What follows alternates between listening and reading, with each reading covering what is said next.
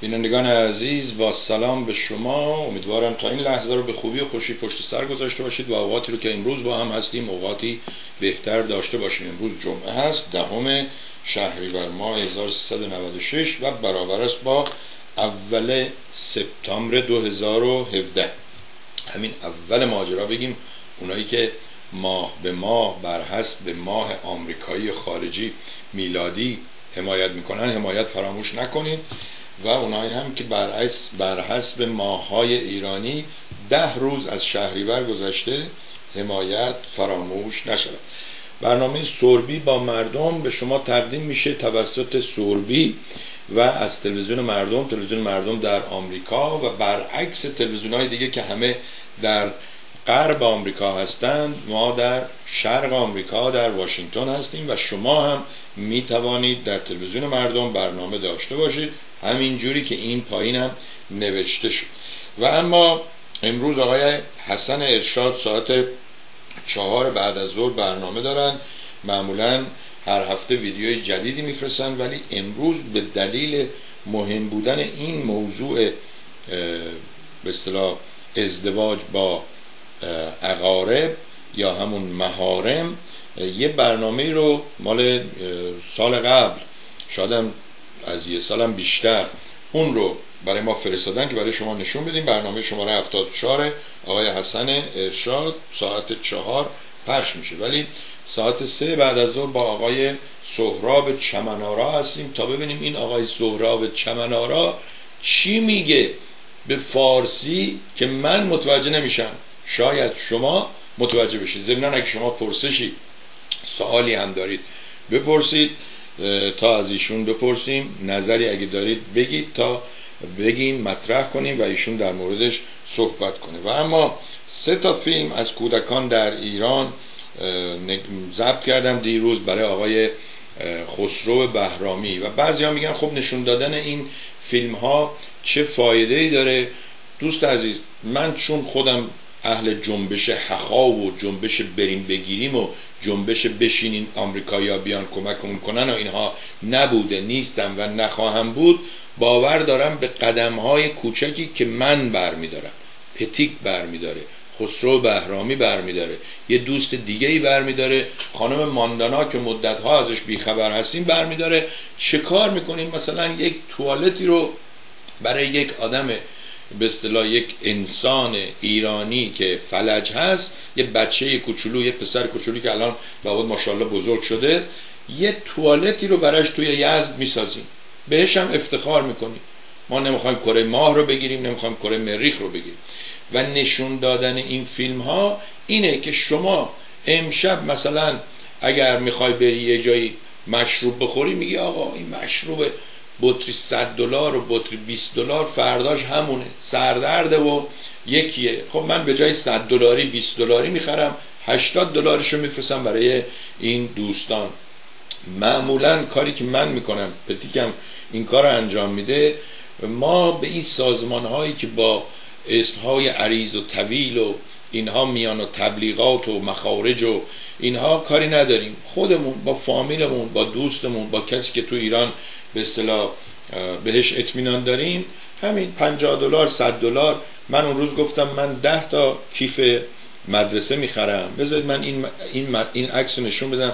از علی ترابی ممنون و متشکرم که این عکس رو برام فرستاد چون هر چی میگشتم نمی‌تونستم پیداش کنم. ضمنا بذارید چون روی فیسبوک هستم برنامه امروزمون رو با دوستانی هم که ما رو از مردم تیوی صفحه فیسبوک می‌بینن. اینم مکافات شده ها وقتی چند جا هستیم.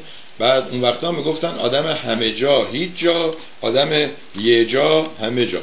اینجا سوربی با مردم این رو هم گذاشتیم برگردیم عکس آقای عکسی رو که آقای علی ترابی لطف کرده فرستاده که کیف مدرسه هست این رو ما به شما نشون بدیم و بگیم که ما ما این کار رو انجام میدیم. حالا شما قدم بزرگتری می‌تونی برداری بفرما این راه این جاده و یا علی مدد یا هر چی که دوست داری. حالا بگیم علی مدد میگه او دیدی مسلمونه دیگه یه جوری شده که بدبختی اگه یه کسی هم یه مذهبی داره باید قایمش کنه. آقا هر کسی آزاده هر دین و هر مذهبی داره. اتفاقا یه نفر به من زنگ زد بعد به من گفت که شما مسلم هستید مسلمان هستید. گفتم والا هستم ولی خوبش نیستم. گفت خوبش چطوره؟ گفتم خوبش روز پنج بار باید نماز بخونه 17 رکعت نماز بخونه. اگه خیلی فکر کرد خوبتر شده اون وقت می‌خواد این اونو ببره به زور بهشت ممکنه خودشو بفرسته جهنم بم می‌ذاره فلان. نه من نیستم. در هر صورت ببینید دوستان اصل ماجرا این بود. و امروز اگر فیلم نشون میدیم بعد از برنامه خودم و برنامه آقای حسن ارشاد و تا هفته دیگه هم دوشنبه یا چهارشنبه میمونه اینه. ببینید این بچه همین گونی های کوچیک برنجی هست که من شما اینجا می‌خریم. چون زیپ داره چون توش پلاستیک داره رفته اینو بسته به پشتش که میره مدرسه.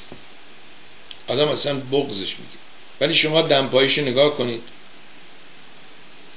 دمپایی این پسره نگاه کنید. خب اگه من ده تا از اینا بخرم بدیم به ده تا شما ده تا بخری اون ده تا بخره اون ده تا بخره پتیک ده تا بخره یکی هم پیدا میشه به من زنگ می‌زنه میگه آقای سربی من خواهرم در ایران در یکی از این به اصطلاح درمانگاه که نمیشه بهش بگی نمی‌دونم اینایی که از افرادی که به اصطلاح اشکالی دارن. فان دیروز با یه خانم آمریکایی صحبت می‌کرد. آمریکایی نبود. اصلش مال سریالون لیون مال آفریقا بود. به نام خانم پاتریشیا. و ایشون پرستار بود. گفتن که اینجا چند نفر هستن. به اینا شما چی میگید؟ میگید بیمار. گفت نه اگه بگیم بیمار بعدشون میاد. یک خانمای مسنی هستن اینا اینجا. گفت ما به اینها میگیم رزیدنت رزیدنت یعنی ساکن یعنی کسی که توی خونه زندگی می‌کنه. مثلا من رزیدنت این خونه هستم. خلاصه این خانم گفت که آی سوربی وقتی شما اینو گفتی من به خواهرم تماس گرفتم و گفتم اونجایی که خواهر ما هست یه سری هستن که طلا دستشون نیست. می‌دونید خانما یک رابطه به خصوصی دارن با جواهرات. از همون بچگی هم این عشق علاقه رو دارن. و حالا تازه ثابت شده که طلا برای مرد بده چون وقتی میپوشه یا میپوشه به انگلیسی میگن میپوشه. گویا تنظیمات خونش رو به هم میریزه. بلد نیستم روشم خیلی شما حساب نکن. ولی میگن برای خانم ها خوبه چون اتفاقا تنظیمات خوب رو به سیستم خون رو تنظیم می‌کنه. در هر صورت. ایشون دیده اونجایی که خواهرش هست چل پنجاه تای دیگه هستن ولی اینا مثلا طلا دستشون نیست. گفته برای همه اینها یکی علنگو. نه از اینایی که ببر و سلطنه از اینجا میپوشه تا اینجا طلاها. یه دونه علنگوی کوچیک که این وقتی میره دست اون علنگوه اینم بگی منم دارم. این کاری که ما انجام بدیم. این کاری که آقای خسرو بهرامی انجام میده زمین آقای خسرو بهرامی دو تا پیام گذاشته یکی در رابطه با مجاهدین و یکی دیگه در رابطه با همین فیلم و کمک کردن و اینها. بشنویم ولی من از ایشون خواهش می‌کنم اگر امکان داره همین پیامشون رو به سه دقیقه و به یک پیام به اصطلاح محدود کنن که دیگران هم اگر پیامی می‌ذارن صحبتی می‌کنن ما بتونیم اونها رو هم داشته باشیم. مخصوصا روزهایی مثل امروز که من فقط یه ساعت برنامه دارم. با هم میشنویم صدای آقای خسرو بهرامی از نیویورک بفرمایید. من کردم آقای صبحی بهرامی هستم از نیویورک زنگ می‌زنم. در برنامه گذشتتون براتون مسیج گذاشته بودم. بعدا این دوستتون دوست عزیزتون معلمه که گفتن آقای صوبی به کسی زنگ نمی‌زنه. من اصلا نخواستم آقای صوبی به من زنگ بزنه. من از ایشون خواستم شماره رو دادم که آقای میتی تبریزی و شماره رو به من بدن. نه ببین دوست عزیز یکی از مشکلات تلویزیون اینه. اون آقایی که پیغام گذاشته بود عزیزم من پیامش رو پخش کردم. اون اصلا شما نبودی. گفته بود که آقای سوربی من می‌خوام یه چیزی بگم. شما به من زنگ بزن. من گفتم شما که زنگ زدی خب می‌خوای یه چیزی بگو بگو. اتفاقا من اسم شما رو استفاده کردم. ببینید آقای بهرامی زنگ می‌زنه پیامشو میگه هدفشو میگه. دیگه لازم نیست من بهش زنگ بزنم. اون دوستمون که شما میگی معلمه آقای سعید در کالیفرنیا اون به خنده و شوخی گفت به این دوستی که پیام گذاشته بگو سربی شیرازی حال نداره زنگ بزنه.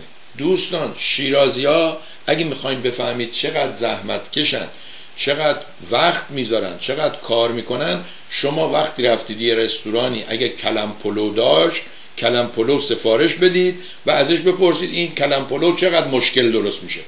اگه سالاد شیرازی می‌خورید فقط سرتون رو نگاه کنید تو اون کاسه. ببینید چقدر ریز قشنگ با دقت. گوجه فرنگی پیاز خیار رو کوچیک کوچیک کوچیک کات می‌کنن. ببخشید اینو میگم. مثل ترونی ها یک کار یک کاهو نمی‌گیره اینجوری انگار می‌خواد بده به بز. کاهو رو دو قسمت می‌کنه میریزه میگه به بچه‌هاش بیا سالاد بخوری. این که سالاد نیست این برای حیوان وقتی میریزن اینجوریه. در صورت شیرازی ها تنبل نیستن. از وقتشون خوب استفاده می‌کنن. میگه آقا مثلا شما تو گرما بلند میشی میری بالای کو من اینجا استراحت می‌کنم زیر سایه درخت عصر میام اونجا. شما با گرما میری اونجا مریض میشی عصر می‌رسی اینم میخوابه استراحت می‌کنه عصر می‌رسه.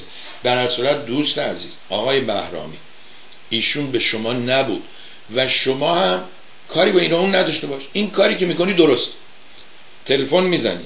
اسمت رو میگی هدفت رو هم میگی این کار درست رو با اون چیزی که از این و اون ایراد بگیری که اصلا مربوط نبوده به شما خرابش نکن. همین کار درست رو ادامه بده. مرسی بشنوید. یا تلفن من رو به ایشون بدم. با اونا رو هم گفتم. آقای انصاری میگه ایشون لطف کنن به جای اینکه تلفن منو داشته باشن سوالاتشون رو مطرح کنن. به زودی یه برنامه خواهند داشت و توی اون برنامه سوالات شما رو پاسخ میدن. کار درستی هم هست.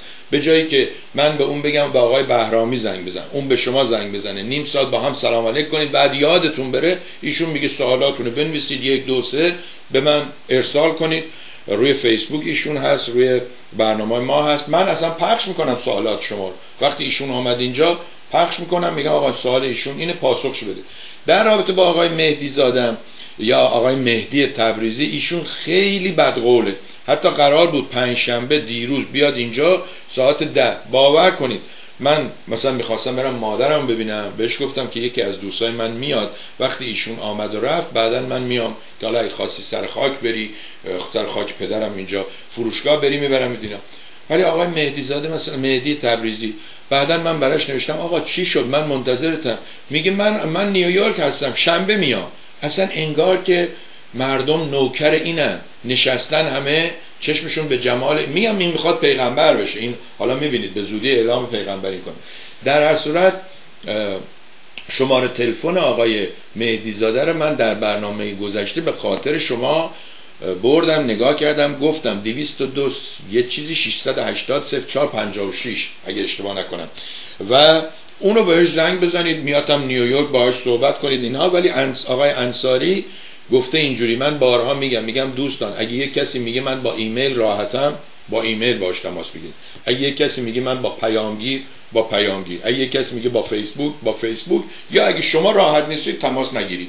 در هر صورت اینم از این ماجرا. پس مهدی تبریزی حل شد. شمارهشو دادم بهتون.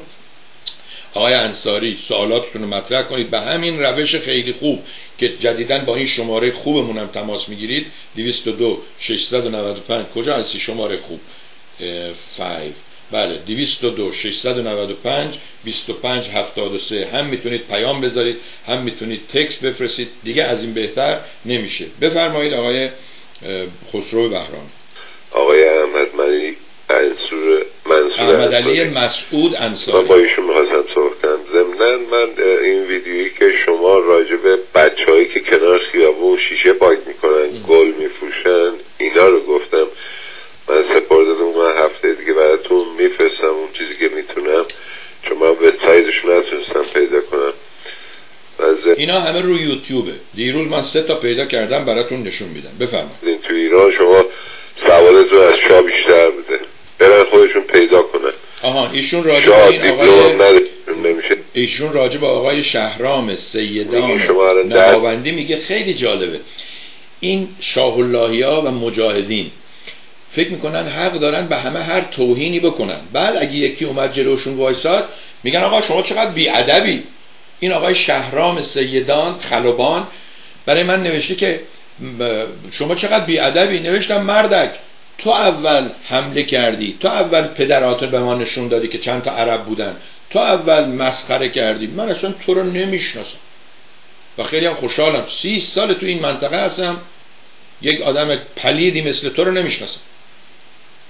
تو از طریق آقای حمید سلیمانی به جایی که بگی نخ شاه دیپلم داشت هم داشت. دو تاشو رو گوشش میبست. یکیش هم نمی‌دونم تو تاخچه بود. ورداشتی به فامیلی من توهین کردی. منم فامیلی شما رو زیر سوال بردم. اون وقت من بیادب شدم. شما چون به آقای بهرام مشیری شما از همون آقای بهرام مشیری سوال کن. وقتی که ایشون معروف نبود ببین به کی زنگ می‌زد و هی میگو آفرین به شما. نمی‌دونم رشادت داری شامت داری جلو این شاه احمق وایسادی. حالا آقای بهرام مشیری به خاطر حقوقی که می‌گیره به خاطر پولی که می‌گیره مجبور یکم دست به اثار را بره صحبتایی که می‌کنه یک کمی به این بزن به اون بزن یکی به نل یکی به فلان باشه. بعد من با شما کاری نداشتم آقای شهرام سیدان نهاوندی. و میگه اگر به اصطلاح نمی‌تونی آشپزخونه رو تحمل کنی گرمای آشپزخونه رو برو بیرون. در صورت برو به سلامت. میگه این سلطنت ها حالیشون نمیشه که خودشونو بزنن به یه جای دیگه. شما که لیسانسی معلم بودین تو ایران شما سوالتون از شاه بیشتر بوده. برن خودشون پیدا کنن. شاه دیپلم هم نداشته. اون وزیر امور خارجش که ارشیر زاهدی بود کلاس نهم داشت. اون مصدق بند خدا که با سواد بود ملغش کردن. اون دیگه بعد عاقلان بعد بفهمن. یا برن پیدا کنن. یه مدرک دیپلم برای ایشون پیدا کنن بیارن تو این تیوی نشون بدن حرف شما کاملا درسته. شما که لیسانسه بودید من به همین احمق هزار دلار به 250 دلار شرط بستم. گفتم آقا شما دیپلم آقای شاه رو بیار بگو در فلان سال از این مدرسه دیپلم گرفته. منم با یه تلفن مستقیم زنگ می‌زنم به سوئیس به این مدرسه. میگم همچین سال همچین شاه تلفن دیپلم گرفته. اگه گفتن بله هزار دلار به شما میدم.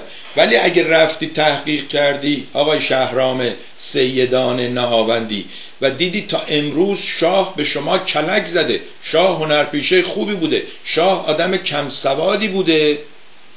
ولی شما فکر کردید ایشون هفتش تا لیسانس و دکترا و اینها داره و نابغه است. تو احمق بودی. یکی دیگه نوشته آقا مگه میشه شاه؟ نمی‌دونم یک شبه میگم بابا جان اینجا کارگرا که میان تا می‌فهمن من فارسی هستم فارسی صحبت می‌کنه. میره اونور خیابون می‌فهمه ویتنامی ویتنامی صحبت می‌کنه. میره اونور انگلیسی آمریکایی آمریکایی صحبت می‌کنه. کارگر مکزیکی که آمده اینجا از دواز سیزده سالگی داره کار می‌کنه پنج تا شش تا زبون بلده. حالا مثل آقای رضا پهلوی و مثل شاه فرانسه صحبت نمی‌کنن چون اینا سوار پرستارشون شدن و نمی‌دونم به جای مادرشون اون دایه تو بغلش خوابیده تا صبح. ولی مردک من چیزی دیگه میگم. یا اون یکی میگه حالا مدرک شد سواد میگم آقا این حرفا چیه؟ من دارم یه چیزی میگم. شما یا بگو داشته یا بگو نداشته. و الا ما می‌دونیم. اتفاقا این چیزی که آقای بهرامی میگه این ماجرای مدرک با سواد فرق می‌کنه. چون خیلی ها هستن. از جمله همین آقای رضا شاه. یه آدم به اصطلاح مدرک نداشته ولی سواد داشته دانش داشته. این سواد هم من نمی‌دونم عربی احتمالا. دانش داشته. دانش روز رو می‌دونسته. این فرق می‌کنه. ولی وقتی یه نفر میگه آقا من می‌خوام یه لیسانس استخدام کنم یا لیسانسی که برابرش کار کرده باشه. شما نمی‌تونی بگی حالا مدرک شد دلیل؟ آقای حمید سلیمانی چون آدم زبلیه یک کلمه اون روز حالا حرف نزده چون می‌دونه اشتباه کرده. ولی عزیز من آقای حمید سلیمانی عزیز آدم های خوب آدم های بزرگ کسایی هستن که میاد میگه من اشتباه کردم معذرت می‌خوام. اون وقت اون آدم هم که یک کمی بخشنده است میگه آقا اب نداره. برادر آدم هم با برادر حرف می‌زنه اشتباه می‌کنه. یک دوستی به من تماس گرفت گفت که من از شما یکم دلخورم چون تو برنامه به من توهین کردی. گفتم من یادم نمیاد توهین و بی احترامی کرده باشم. و تازه اگرم خدایی نکرده همچین اتفاقی افتاده باشه معمولا دوستان به همدیگه توهین می‌کنن. فامیل به همدیگه توهین می‌کنه. و الا شما کسی که غریبه است که توهین نمی‌کنی ناراحت نمیشین اصلا غریبه است. و این دوستان و فامیل هستن که امروز صبح با هم دعواشون میشه فردا شب دوتاشون میرن خونه خواهر مثلا خواهرشون دوتاشون رو دعوت کرده اونجا صورت همدیگر هم میبوسن. اصلا دیگه حرف اونم نمی‌زنن در صورت این پیام دوم آقای بهرامی بفرمایید آقای بهرامی. سلام از کردم آقای صحبی مجددا راجع به برنامه گذشتهتون راجع به مجاهدین صحبت می‌کردین. آقایی که مزاحمتون میشه تعریف می‌کنه برگرده به زمان سال 57 این آقای فیلاوی و این آقای مرزاد که همشهریتون هست بدونن همین مجاهدین بودن این آخوندارا بودن سر کار این هجاب و این مجاهدین کردن. شما برگردین اول انقلاب این مرگ بر آمریکایی که میگن اون بلیزری که خمینی اومد سعادتی توش بود و زلفقاری و خیابانی اینا بادیگارد اون خمینی بودن. و ضمنا به شما بگم اینا مخالف چیز بودن. بعدا که خود اینا رو آوردن سر کار که موندن رو حاکمیت. و یادشون نره اون سفارت آمریکا هم که حمله کردن اینا بودن. اون آمبولانسی که از سفارت آمریکا اومد بیرون دو تا دیپلمات رو با خودشون برد. اونا مجاهدین بودن بعدا مردم عادی بودن و این سرهنگ توکلی مال کمیته میدون فوزیه.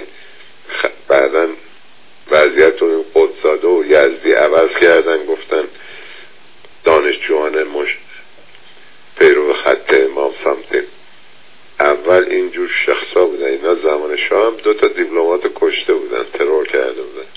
اینقدر نگم مجاهدی کیان کی اینا خودشون بغل همین آخونده بودن اینا خود این آخونده رو چیز کردن این حجابم اینا از جلو دانشگاه شروع کردن دختره با روسری شروع کردن آوردن تو این مملکت. عجد اون راننده هم که بود راننده هم محسن رفیق دوست بود که الان رئیس بنیاد مزدفانه. این همون شخصیه که جزء حزب چیز بوده فدایان اسلام. آقا که مزاحمتون نمیشم. روز خوبی داشت. ممنونم از شما. بله همون جوری که گفتی راجع به سلطنت طلبا به گوششون نمیره این دوستان مجاهدم همین جورن. من نمی‌دونم حتی اگه بره تو گوششون مثل اینکه بین این گوش و این گوش مغزی وجود نداره. از این گوش میره از اون گوش میره بیرون. در اصل شما اسم صادق قطبزاده و اینها را آوردید. یه فیلمی هست به مدت 23 دقیقه اعترافات صادق قطبزاده بعد از برنامه خودم که بعدش هم آقای چمنارا با هم مصاحبه می‌کنیم و بعدش هم آقای حسن ارشاد بعد این فقر رو فقر و کودکان در ایران و یه فیلم کوتاهی هم هست که یه پسری باش مصاحبه می‌کنن بهش میگه اسباب بازی میگه من که اسباب بازی ندارم میگه می‌خوای چیکاره بشی؟ میگه می‌خوام پلیس بشم. میگه اگه پلیس شدی می‌خوای چیکار کنی؟ میگه می‌خوام معتادا رو بگیرم. بعد میرن تو خونه باباش معتاد بوده. به باباش میگه که خب شما این بچت می‌خواد پلیس بشه و پلیس بشه می‌خواد معتادا رو بگیره. فیلم جالبی آدم اشکش در میاد. این فیلم ها رو برای شما پخش می‌کنم. ولی امروز اون فیلم اعترافات صادق قطبزاده رو قطع براتون پخش می‌کنم. یک کنسرت کامل ابی که مال سال گذشته بوده. براتون پخش می‌کنم چون ابی به زودی مثل که می‌خواد یک کنسرتی برای پنجاهمین سال بذاره یا گذاشته. در اصل این فیلمایی که دوستانی مثل شما با یک هزینه خیلی کم اینها رو نشون میدن که وقتی رفت یه جا حرف زد طرف چهار نفر دیگه هم ببینن دیده باشن. بی بی سی یه برنامه داشته به نام این اسلام و ایران و اینها. خیلی جالبه. و این برنامه فکر کنم مال دو سال پیشه اون رو هم بهتون نشون میدم. ببینید این جوانایی که الان تاریخ رو می‌بینن مثل آقای چمنارا قضاوت نمی‌کنن که یک کتاب بگیرن دستشون و بگن این شاهنامه مقدسه میاد توضیح میده.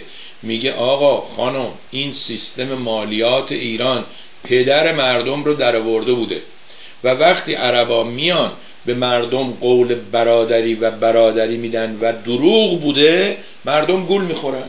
یه عده میرن چی می‌کنن؟ بعد میگه آقا این سپاه منظم پادشاه های ایران دوره ساسانیان بوده دیگه نه؟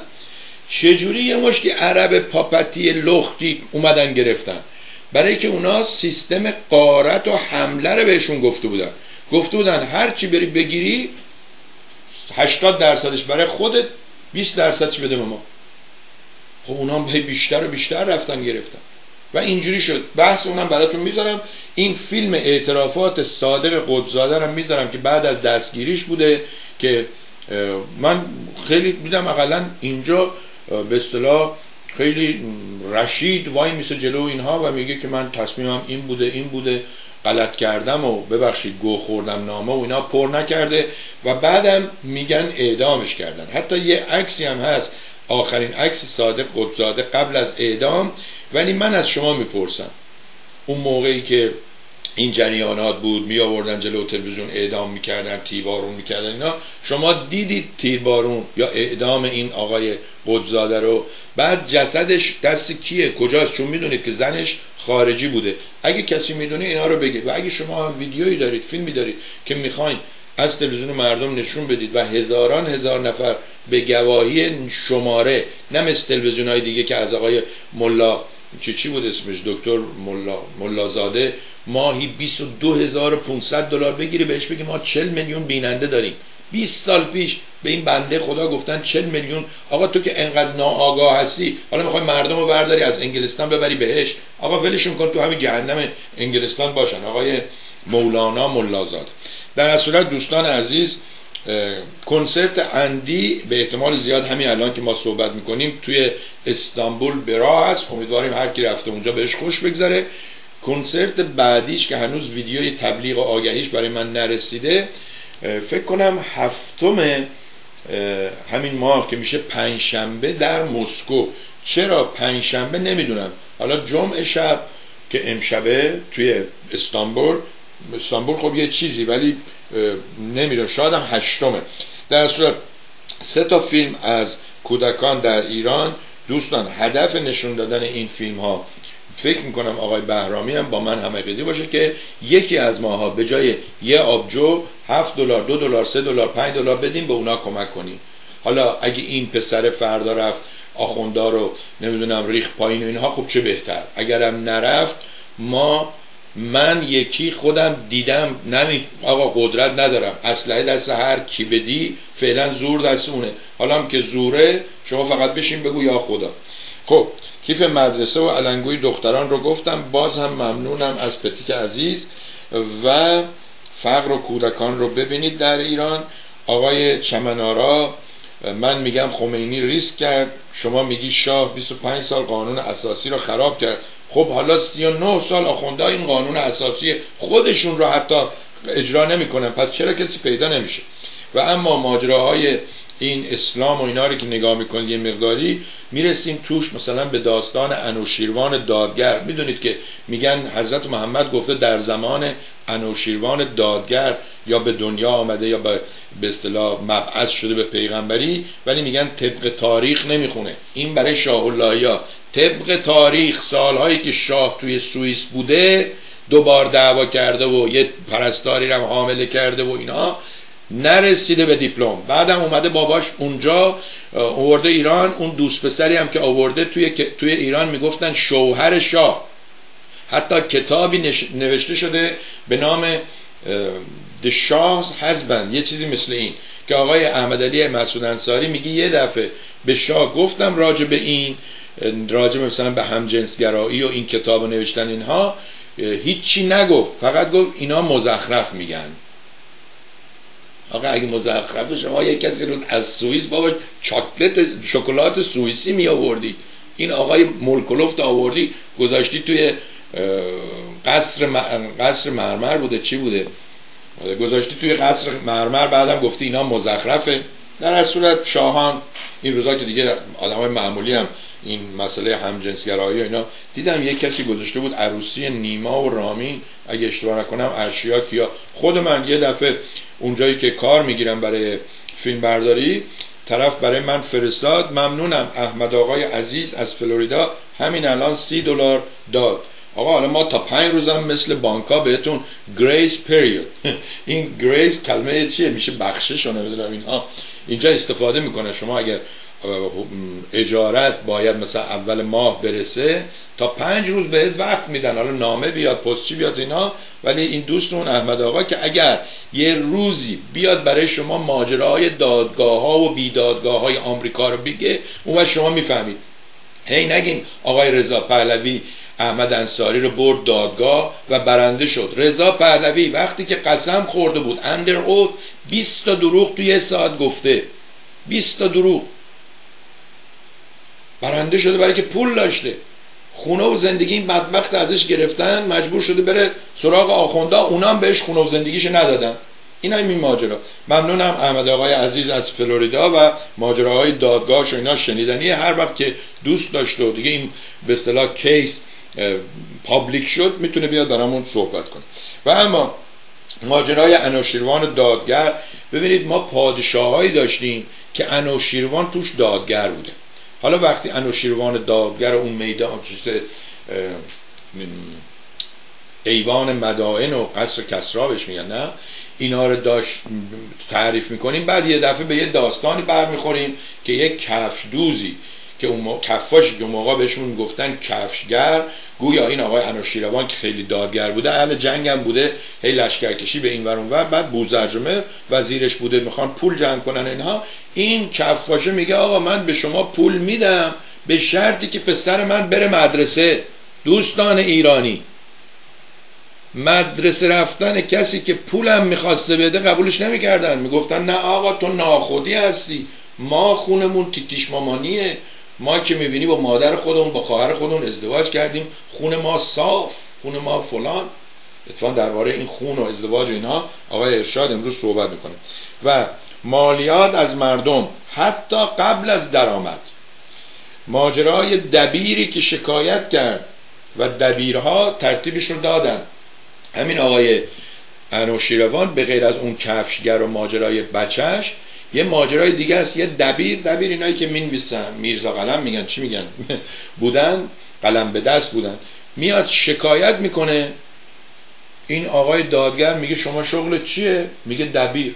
میگه دبیرای اینجا ترتیبشو به اصطلاح جوابش بدن. اونا با این چیزایی که یا سنگ بوده یا مس و اینها بوده توش مرکب بوده اینقدر می‌زنن این بابا رو تا میکشنش. اینجوری بوده. به چی می‌خواین شما افتخار کنید؟ آقای شهرام سیدان شما بی سوادی شما فقط یه عکس گرفتی تو کابین خلبانی اینجوری. من حاضرم تو اون صندلی 100 دلار میدیم از اینجا تا آتلانتا پرواز اینجوری بشینم ولی یک ساعت تو اون صندلی نشینم که شما این همه دستگاه دور برت در رو باید قفل کنی یه نوشابه می‌خوای باید التماس کنی یکی بیاد بابا چه شغلی؟ اینا رو علکی چسی و پوز دادن که شما بدبختا برید اسیر بشید. من میگم آقا راننده کامیون آزادتر از شماست. راننده تاکسی آزادتر از شماست. چه پوزی؟ چه گلی بر سر مردم زده ای حمله عرب به ایران و شکست ایران ایرانیان. به نظر شما بیکفایتی پادشاهان ایران بوده یا قوی بودن اعراب ویدیویی هست از بی بی سی براتون نشون میدم. ماجرای کفشگر و فرزند شو. انوشیروان دادگر رو گفتم عجب دادگری عجب عادلی و اما چمنارا هم ساعت سه بعد از ظهر یعنی حدود 27 دقیقه دیگه با ایشون خواهیم بود. اگر سوالی صحبتی دارید حتما یا با همین شماره تلفن پیام بذارید یا اینکه در زمان برنامه ایشون با فیسبوک بنویسید. می‌بینید که ما هی میگیم روی فیسبوک جواب نمیدیم ولی می‌بینیم که خب یه روشی هم شده که اگه یه کسی امروز یه سوالی می‌کنه ما بهش نمیگیم برو 6 هفته دیگه بیا. و اما بریم سراغ این نوشته هایی که گذاشتیم اینجا. قائم مقام قالیباف در شهرداری تهران به اتهام فساد مالی بازداشت شد. چقدر خوشحالم. شیرازی هم میگه چیشون از چیشون خوشحالتر؟ خودشون افتادن به جون همدیگه خودشون همدیگه رو دارن می‌گیرن.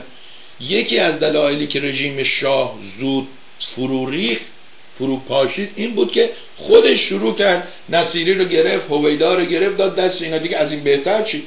مثل این که شما شیش نفر دوز بیان خونتون یکی زنگ بزنه بگه آقا من اون پنجتا رو تحویل میدم.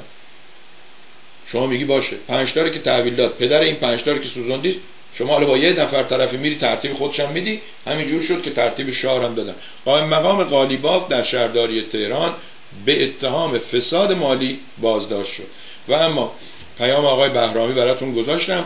آقای آریانپور یک مقاله بسیار قشنگ نوشته آزادی بیان از دیدگاه بخشی از ما ایرانیان خود تبعید. آقا این تبعید نیست. مهاجرت کردیم ما عزیز من. حالا ایشون می‌خواد بین مهاجرت من و تبعید درستتر بگه فارسیش بهتر از من میگه خود تبعید. ولی کسی که خودش رو تبعید نمی‌کنه مگه ما دیوانه هستیم خودمون رو تبعید کنیم؟ ما مهاجرت کردیم. حالا به خاطر شرایط بد به خاطر نبود آزادی به خاطر پول کم هر چیزی که بگید اون مهم نیست. مهم اینه که ما مهاجرت کردیم. ما تبعید نکردیم. هیچ کس اگه ما بگیم من خودم رو تبعید کردم اینجا یعنی من یک دیوونه احمقی هستم که مثلا تو شیراز زندگی می‌کردم بعد خودم مثلا سالی سه ماه تابستون میفرستادم جیرفت خودم رو تبعید می‌کردم. نداشتیم همچی چیزی. بله شاه آخونده مصباحی و اینا رو میفرستاد. لابد آخونده الان یه سری دیگر رو تبعید می‌کنن. این قبوله. در اصلا کاری به خیلی ملا لغتی نشه یکی از زیباترین دستاوردهای یا آوردهای انسان مدرن آزادی بیان بوده است. آزادی در ابراز عقیده و تفکر و تخیل آزادی در اعتراض به بیعدالتی آزادی در اشاره اشاعه نیکی ها و زدودن شرارت ها در نهایت نایل آمدن به قراردادهای اجتماعی اجتماعی تاهر متاسفانه این دستاورد شیرین برای عدهای جهت دروغ پراکنی فرایکاری و شبیخون زدن به های اخلاقی اجتماعی و سیاسی یک دستاویز شده است. این افراد نیز در تنگناها جهت گذر و گریز و موجه جلوه دادن سیاهکاری های خود به آزادی بیان متشبس می شوند این اصلا جمله بندی قشنگ. نقطه سرخط فاصله کی علامت تعجب بذارن کی کاما بذارن. این آقای احمد شاملو آمده بود اینجا سالها پیش و میگو آقا اصلا انقدر دیگه ویرگول و نقطه و اینها می‌ذارن که آدم نمی‌دونه چجوری باید بخونه اینا رو. بلد نیستیم دیگه. بعد ایشون نوشته که امروز مؤثرترین سلاح پیش برد مقاصد دروغ و ریا جعبه جادویی است به نام تلویزیون که قادر است انبار را از هر کالای بنجلی پر و خالی کند. جاذبه این ابزار ارتباط جمعی در حدی است که می‌تواند یک مجرم را معصوم و یک مظلوم را مجرم بنماید. می‌تواند شیطان را به فرشته و فرشته را به شیطان تغییر شکل دهد. قادر است خطای چشم و خطای حواس را موجب گردد مانند عملیات شعبد بازی که ما ایرانیان قربت نشین نیز از این نعمت بی نصیب نمانده ایم. به ویژه که مهره های بازی شسته و رفته و ظاهر السلام اصلاح می نمایند مردان شیکپوش اتو کرده و واک زده گاه هم با ابروهای زیر برداشته و صورتهای جراحی شده تا شاید با ظاهر دلفروز دلفروز مورد پسند میلیون ایرانی در داخل ایران افتند هر زمان کانال های تلویزیون وطنی را میچرخانند مجریان مرد خود را با سر و صورت و گردن و لب انبوه از پشم می‌بینند که از فرق سر تا نوک پا چرب و چرک و چروک بر, بر پرده ظاهر می شود در مقایسه شاید اینان مقبول افتند. در آن سوی این جعبه جادویی منزل به منزل اتاق به اتاق در هر شهر و کشور جهان خانواده ها تک نفری و جمعی مقابل این اختراع اعجازانگیز می نشینند و با نوعی تسلیم ذهنشان را می سپارند به سیلاب افکاری که از گلوی گوینده خارج و بر زبانش جاری می گردد مطلب بسیار خوبیه. یه مقداری طولانیه. اگه خواستید برای من ایمیل بفرستید براتون میفرستم. ایمیل ما خیلی ساده است. ما سعی کردیم همه چیز رو ساده بزن info at مردم TV dot com شما میگه این کی بود؟ تلویزیون کی بود؟ مردم TV. Info at مردم TV dot com نه اینکه سربی زیر خط بالای خط ابرو شیراز این اون دو یک. حالا یه ایمیل دیگه هم دارم شخصیمه. چون داداشای من به اصطلاح و فامیل سوربی بزرگ اونا زودتر سوربی و اینا رو گرفته بودن از Gmail dot com. ما آمدیم گفتیم خب ما اینجوری متمایزش می‌کنیم. هم پوز میدیم که تو آمریکا هستیم. گفتیم A نقطه. که با فامیلمون قاطی نشه. ما هیچ قاطی بودنی با US نداریم.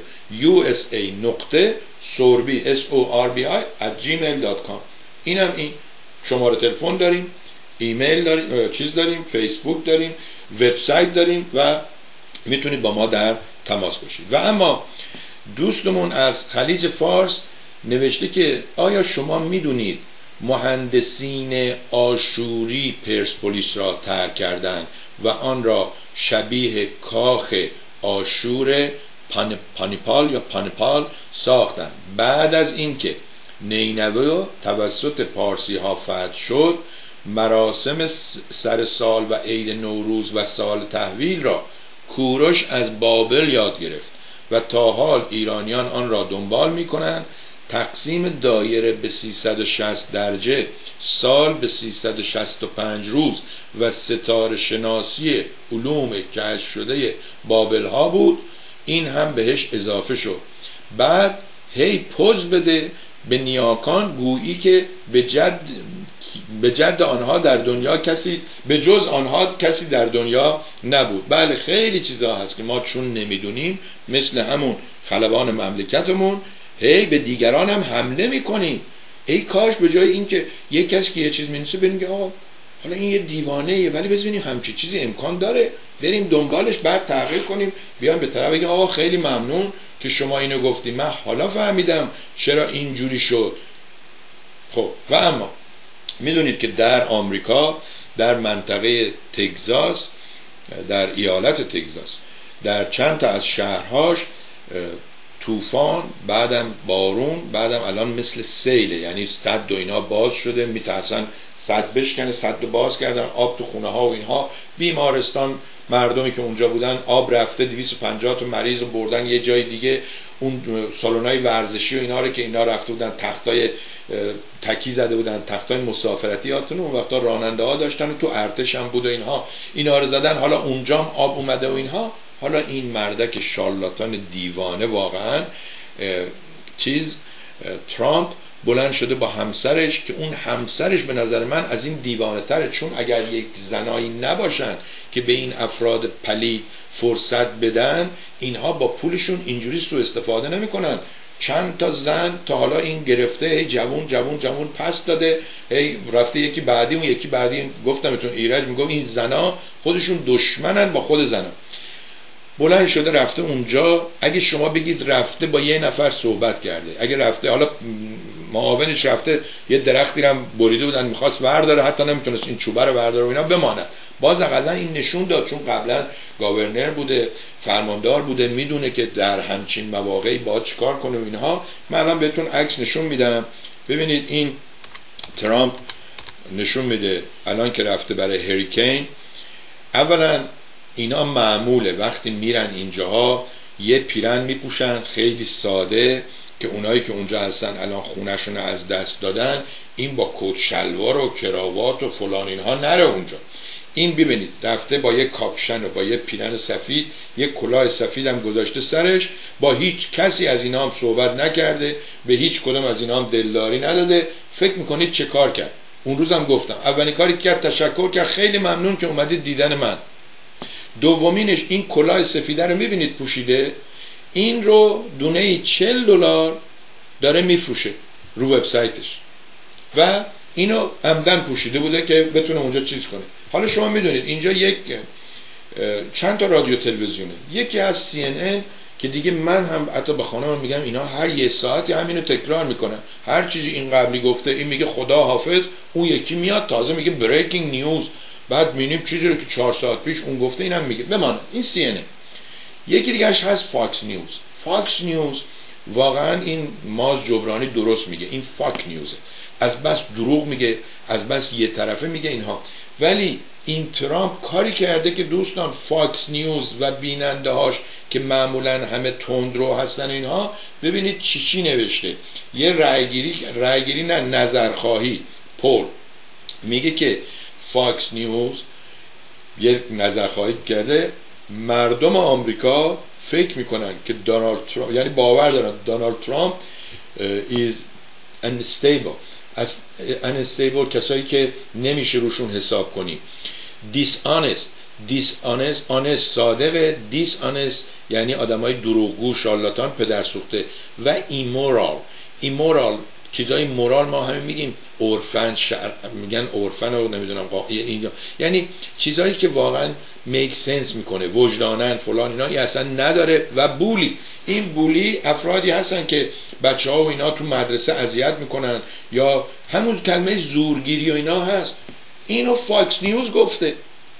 اون وقت دوست ما میگه که شما به من توهین کردید. احتمالا من چون به, به ترامپ گفتم شارلاتان به شما برخورده.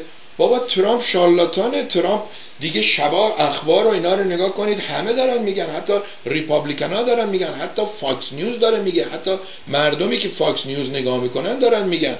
ای عجب آدمی هستیم شما. بعدم به من میگن شما چرا اینجوری شدی؟ میگن بابا برای که ما مستقیما به اصطلاح به همون ضرر زده به همون روی زندگی ما اثر می‌ذاره. حالا شما کانادا هستی ایران هستی هر جا هستی ممکنه شما کمتر روی شما اثر گذاشته باشه. ولی ما اینجا مستقیما رو اون اثر گذاشت و اما میگه یکی از بزرگان گفت که یک گاریچی در محلمان بود که نفت می‌برد. این یکی از بزرگانم گفت معمولا طرف خودش گفته. حالا شانس آوردیم نگفته که بابا مثلا گاندی گفته سعدی گفته نمی‌دونم نیچه گفته. میگن یکی از بزرگان گفت یک گاریچی در محل من بود که نفت می‌برد و ما همه بهش می‌گفتیم امو نفتی یک روز مرا دید و گفت سلام ببخشید خانه تان گازکشی کرده این؟ گفتم بله. گفت فهمیدم چون سلامهایت تغییر کرده است. من تعجب کردم. گفتم یعنی چی؟ گفت قبل از اینکه خونتون رو گاز کشی کنید خوب مرا تحویل می‌گرفتی. حالم رو میپرسیدی. همه اهل همه اهل محل همینطور بودن. هر کس که خانهش گاز کشی شد دیگر سلام علیک او تغییر دیگر سلام علیکش تغییر می‌کنن میگه از اون لحظه فهمیدم سی سال سلام من بوی نفت می‌داد. عوض اینکه بوی انسانیت و اخلاقی اخلاقیات بدهد. سی سال او را با اخلاق خوب تحویل گرفتم. خیال می‌کردم اخلاقم خوب است. ولی حالا که خانه من گاز کشی شده ناخداگاه فکر کردم نیازی نیست به او سلام کنم. یادمان باشد سلامهایمان بوی نیاز ندهد. و از این نوشته ها ما روزانه 20 تا 30 تا بسیاری به تعداد دوستا و دشمنا می‌گیریم ولی جامعهمون اینه. جامعه ای که آقای این احمد نمی‌دونم چیه ساواکیه فراست کیه برداشته یک نوشته. من گفتم این آقا چرا اینجوری نوشته؟ بعد دیدم این نوشته مال مال صادق هدایته. که فوش میده که چه ملتی داریم فلان اینها دوستان خود صادق هدایت یه آدم نامتعادلی بوده. یه کسی که من فکر نمی کنم یه روز در زندگیش کار کرده. از این خانواده ای نمی‌دونه حالا قاجار ماجار سلطنه ملتنه بوده. اومده فرانسه و فلان اینها. بعد که اومده فرانسه هی نگاه کرده دیده تو ایرانیا آدمای بدی هن. وقتی شما میریم میگی ما ایرانیا آدمای بدی هستیم اولین کسایی که بدن تو زندگی کیا هستن؟ فامیلتن. رفیقاتن نزدیکانتن دوستان تو خیابونتونن همسایهاتون هستن. خب من بدم اون بده اون بده میشیم یه مجموعه. بعد این آقای صادق هدایت به غیر از اینکه خودش رو کش چه خدمتی به جامعه ما کرده؟ یه مشتی آدم بدبخت افسردم کتابشو بخونم اون یکی بوک بوف کوره اون یکی سگهای ولگرده اون یکی نمی‌دونم چی چی بود اسم چی چی خانم؟ بعدم یا خودکشی می‌کنن یا انتظارشون میره بالا یا فکر می‌کنن همه دنیا بهشون ظلم کرده. حالا اینو کی نوشته؟ یعنی کی نقل قول کرده؟ یه آقایی که تو ساواک شکنجه می کرده و با افتخارم میاد جلو دوربین و اینا میشینه میگه بله ما شکنجه می‌کنیم ولی شکنجه ها به اون سختی که اینا می‌گفتن نبود. یکی بگه پدر سوخته بذار من یه پنجمش رو خودت پیاده کنم. یه دوستی پرسیده که پتیک پرسیده آقا جون صبح بخیر. نمی‌دونم گفتگوی امروز شما با آقای چمنارا در مورد فردوسی و سال 2020 2020 است یا کلی؟ اگر کلی است از ایشان بپرسید. زمان شاه مخالفین رژیم را در دو گروه مرتجعین سیاه و قرمز قرار می‌دادند. آخوند و کمونیست. چگونه است که آقایون سیاستمداران محققین روشنفکران هیچ وقت در پی آگاهی مردم عادی آمی بر نیامدن.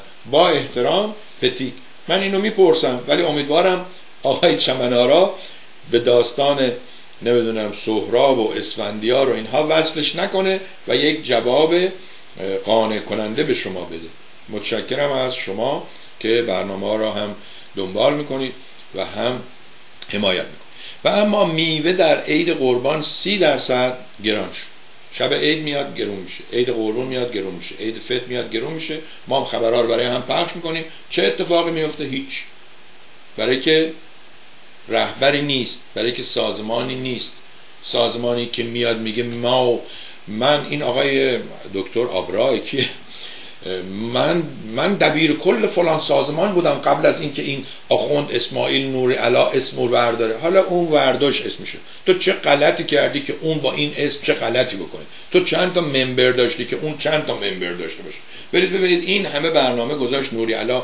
همه جا رو گند زد. واشنگتن آمد نمی‌دونم آلمان رفت هلند رفت فلان. حالا کارش به کجا رسیده؟ حالا بشینه یه آقایی با تلویزیون با اسکای باش مصاحبه کنه.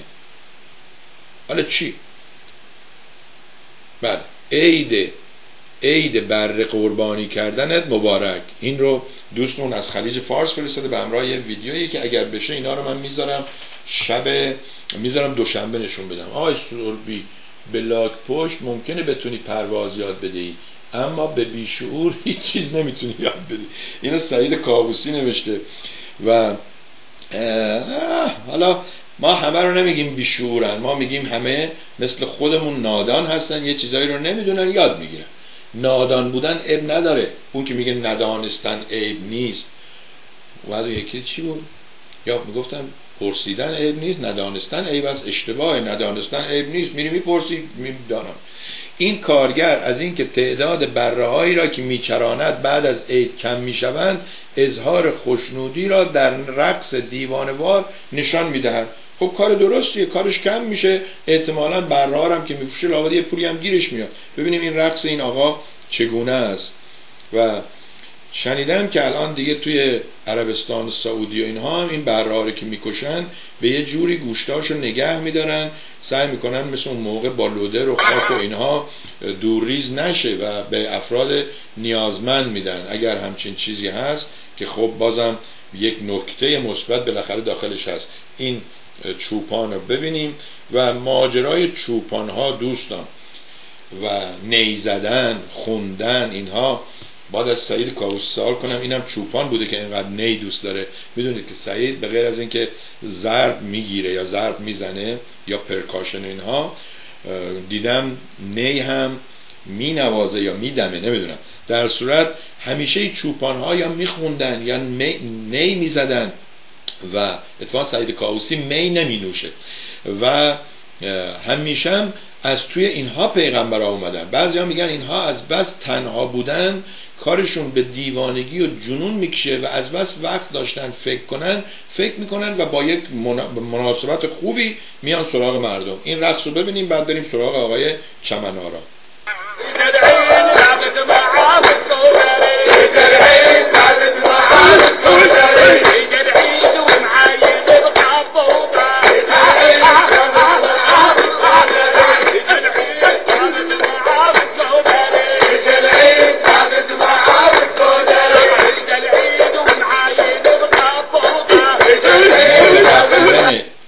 رقصیدن این چوپان بنده خدا در این بیابان برهود هیچ اشکالی نداریم. امیدواریم همه همینجوری خوش باشن برای خودشون برقصن مزاحم این و اون نشن. میگه که بزها با اعتصاب اعلان کردند تا پایان عید قربان از اعتصاب و ماندن در خارج از دسترس انسان از درخت پایین نخواهد آمد. فکر نمی کنم به این چیز باشه ولی بزها یکی از کوه بالا رفتنشون خیلی خوبه یکی از درخت بالا رفتنشون و توی حیوانای چهار دست و پا اینها خیلی مهارت دارن. و اما کنارگیری مسعود سفیری از صدای آمریکا. می‌دونید که این چند روز گذشته صدای آمریکا اون آقای کی بود بر از بر, بر ضد حسین کامبیز حسینی صحبت کرد. گویا کامبیز حسینی شکایتش کرده و به دردسر افتاده و اینها. بعد گویا فعلا هم برنامهاش تعطیل کردن توی صدای آمریکا. حالا آقای مسعود سفیری کنارگیری کرد. کنارگیری اینا معمولا موقعی که قراردادشون تموم میشه. Voice of America می‌ذارد کنار. این می‌دونید اینجا هم رسمه طرف میگه اخراجت کرد. میگه نه من اخراج نکردم. من خودم استعفا دادم. حالا چه اخراجت کردن چه استعفا دادی الان امروز بیکاری. و اینا به این ترتیب بوده. هر یکیشون که آمدن بیرون به غیر از آقای احمد رضا بهالو هر کدومشون که آمدن بیرون بعدا نشستن بدی های Voice of America رو گفتن. آقا تا موقعی که خوردی بردی و ما میشینیم میگیم چرا احمد علی مسعود انصاری بدی شاه رو میگه؟ بابا این اقلا همون موقع که باشون بوده اومدن بر ضدش بر ضدش شکایت کردن. اون که کار کرده پول گرفته تو مهمونی ها بهش احترام گذاشتن چلو کبابی رفته پول نداده فلان همچی کردنش بیرون آمده گفته آقا اصلا این Voice of America فاحشه خونه است نمی‌دونم اینجوریه اونجوریه. کارمون خیلی خرابه. ساعت دو پنجاه و پنج دقیقه است ببینم دیگه براتون چی گذاشتم. بله. آها. ایشون میگه چند ساعت پیش ناخداگاه ایمیلی فرستادم و یادی از تختی و زلزله بوین زهرا نمودم. الان خواستم ببینم چه زمانی اتفاق افتاده. همین دوستون پتیک من نمی‌دونم کی میخوابه. در از صورت می‌دونید که الان این شرایط تگزاس و اینها خیلی آمدن. مثلا یک ورزشکاری فکر کنم جی جی وات همینجوری. جی جی وایت یا وایت اومده گفته که من 100 هزار دلار می‌ذارم شما هم 100 هزار دلار بذارید 200 تا امروز 13 میلیون و نیم جمع شده. ولی دوستان 100 هزار خونه خراب شده. تازه حالا بذارید آب که بره بعد مردم برمیگردن. اون اگه یک کسی مثلا مثلا می‌زنم. حالا نمی‌خوام بگیم هم هم دروغ میگم اگه کسی یه قاب 100 دلاری داشته میگه این قابه مال پدر بزرگم بوده 100 هزار دلار دادگاه و فلان اینا. البته ناگفته نماند. تو همین شلوغ پلوغی سازمان به اصطلاح اداره امیگریشن و اینها میگه ما حالا اونایی رو که میان برای بیمه می‌خوان کلیم فایل کنن ما یقشون رو می‌گیریم که ببینیم شما تو این مملکت به اصطلاح مجوز داری که بمونی یا نه. یعنی هم یه درصد دیگه ای میشه. و توی همین حین و وین یه عده پدر سوخته شالاتان سو استفاده کن به مردم زنگ می‌زنن. میگن که شما بیمه بیمه سیل و آب و اینها اگه چون نداری اگه امروز 400 دلار 500 دلار ندی بعدا نمی‌تونی. اون بدبختم حالا خونش از دست داده. بعضیاشون با یک کیسه پلاستیکی که برای زباله استفاده می‌کنه من اون روز نشسته فکر می‌کردم اگر به من بگن الان باد بری من چه چیزایی رو تو این کیسه پلاستیک زباله میریزم؟ اشکم در اومد.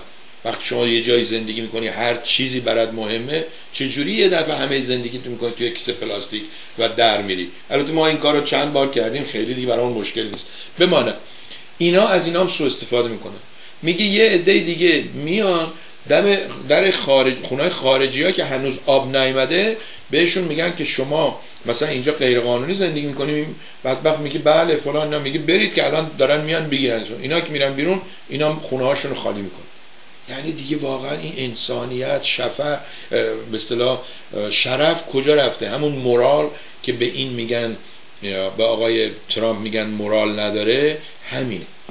و اما دو و پنجاه و هشت ببینیم آقای سهراب چمنارا امروز میان یک که بحث خوب جانانه بذاریم یکی بگیم یکی بشنویم یا من هرچی میگم ایشون هی می‌خواد بگه که نه اونو ولش کن و بریم سراغ فردوسی و اینها. ضمنا دوستان در زمان حمله اعراب به ایران یک رستمی بوده. این رستم تو چه داستانی بوده؟ و آیا این رستم همون رستمیه که فردوسی میگه مال سیستان بلوچستان بوده یا فرق می‌کنه؟ این هم کمرای سه برای آقای چمنارا. ببینیم ایشون صدای ما رو میشنون هستند یا درود بر شما جناب سرفی گرامی ممنونم. شما صدای من میشنوید؟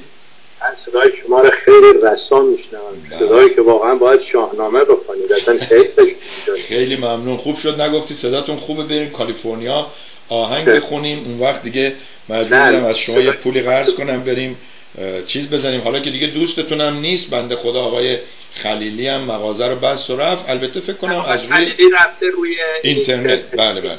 دوستان از بله بله. دوستان عزیز خب همین کاری بود که من سالها پیش کردم. ما از بله. اون اوورهد و اینا کم کردیم اومدیم توی خونه دیدیم چه فایده داره بشین اونجا. بله.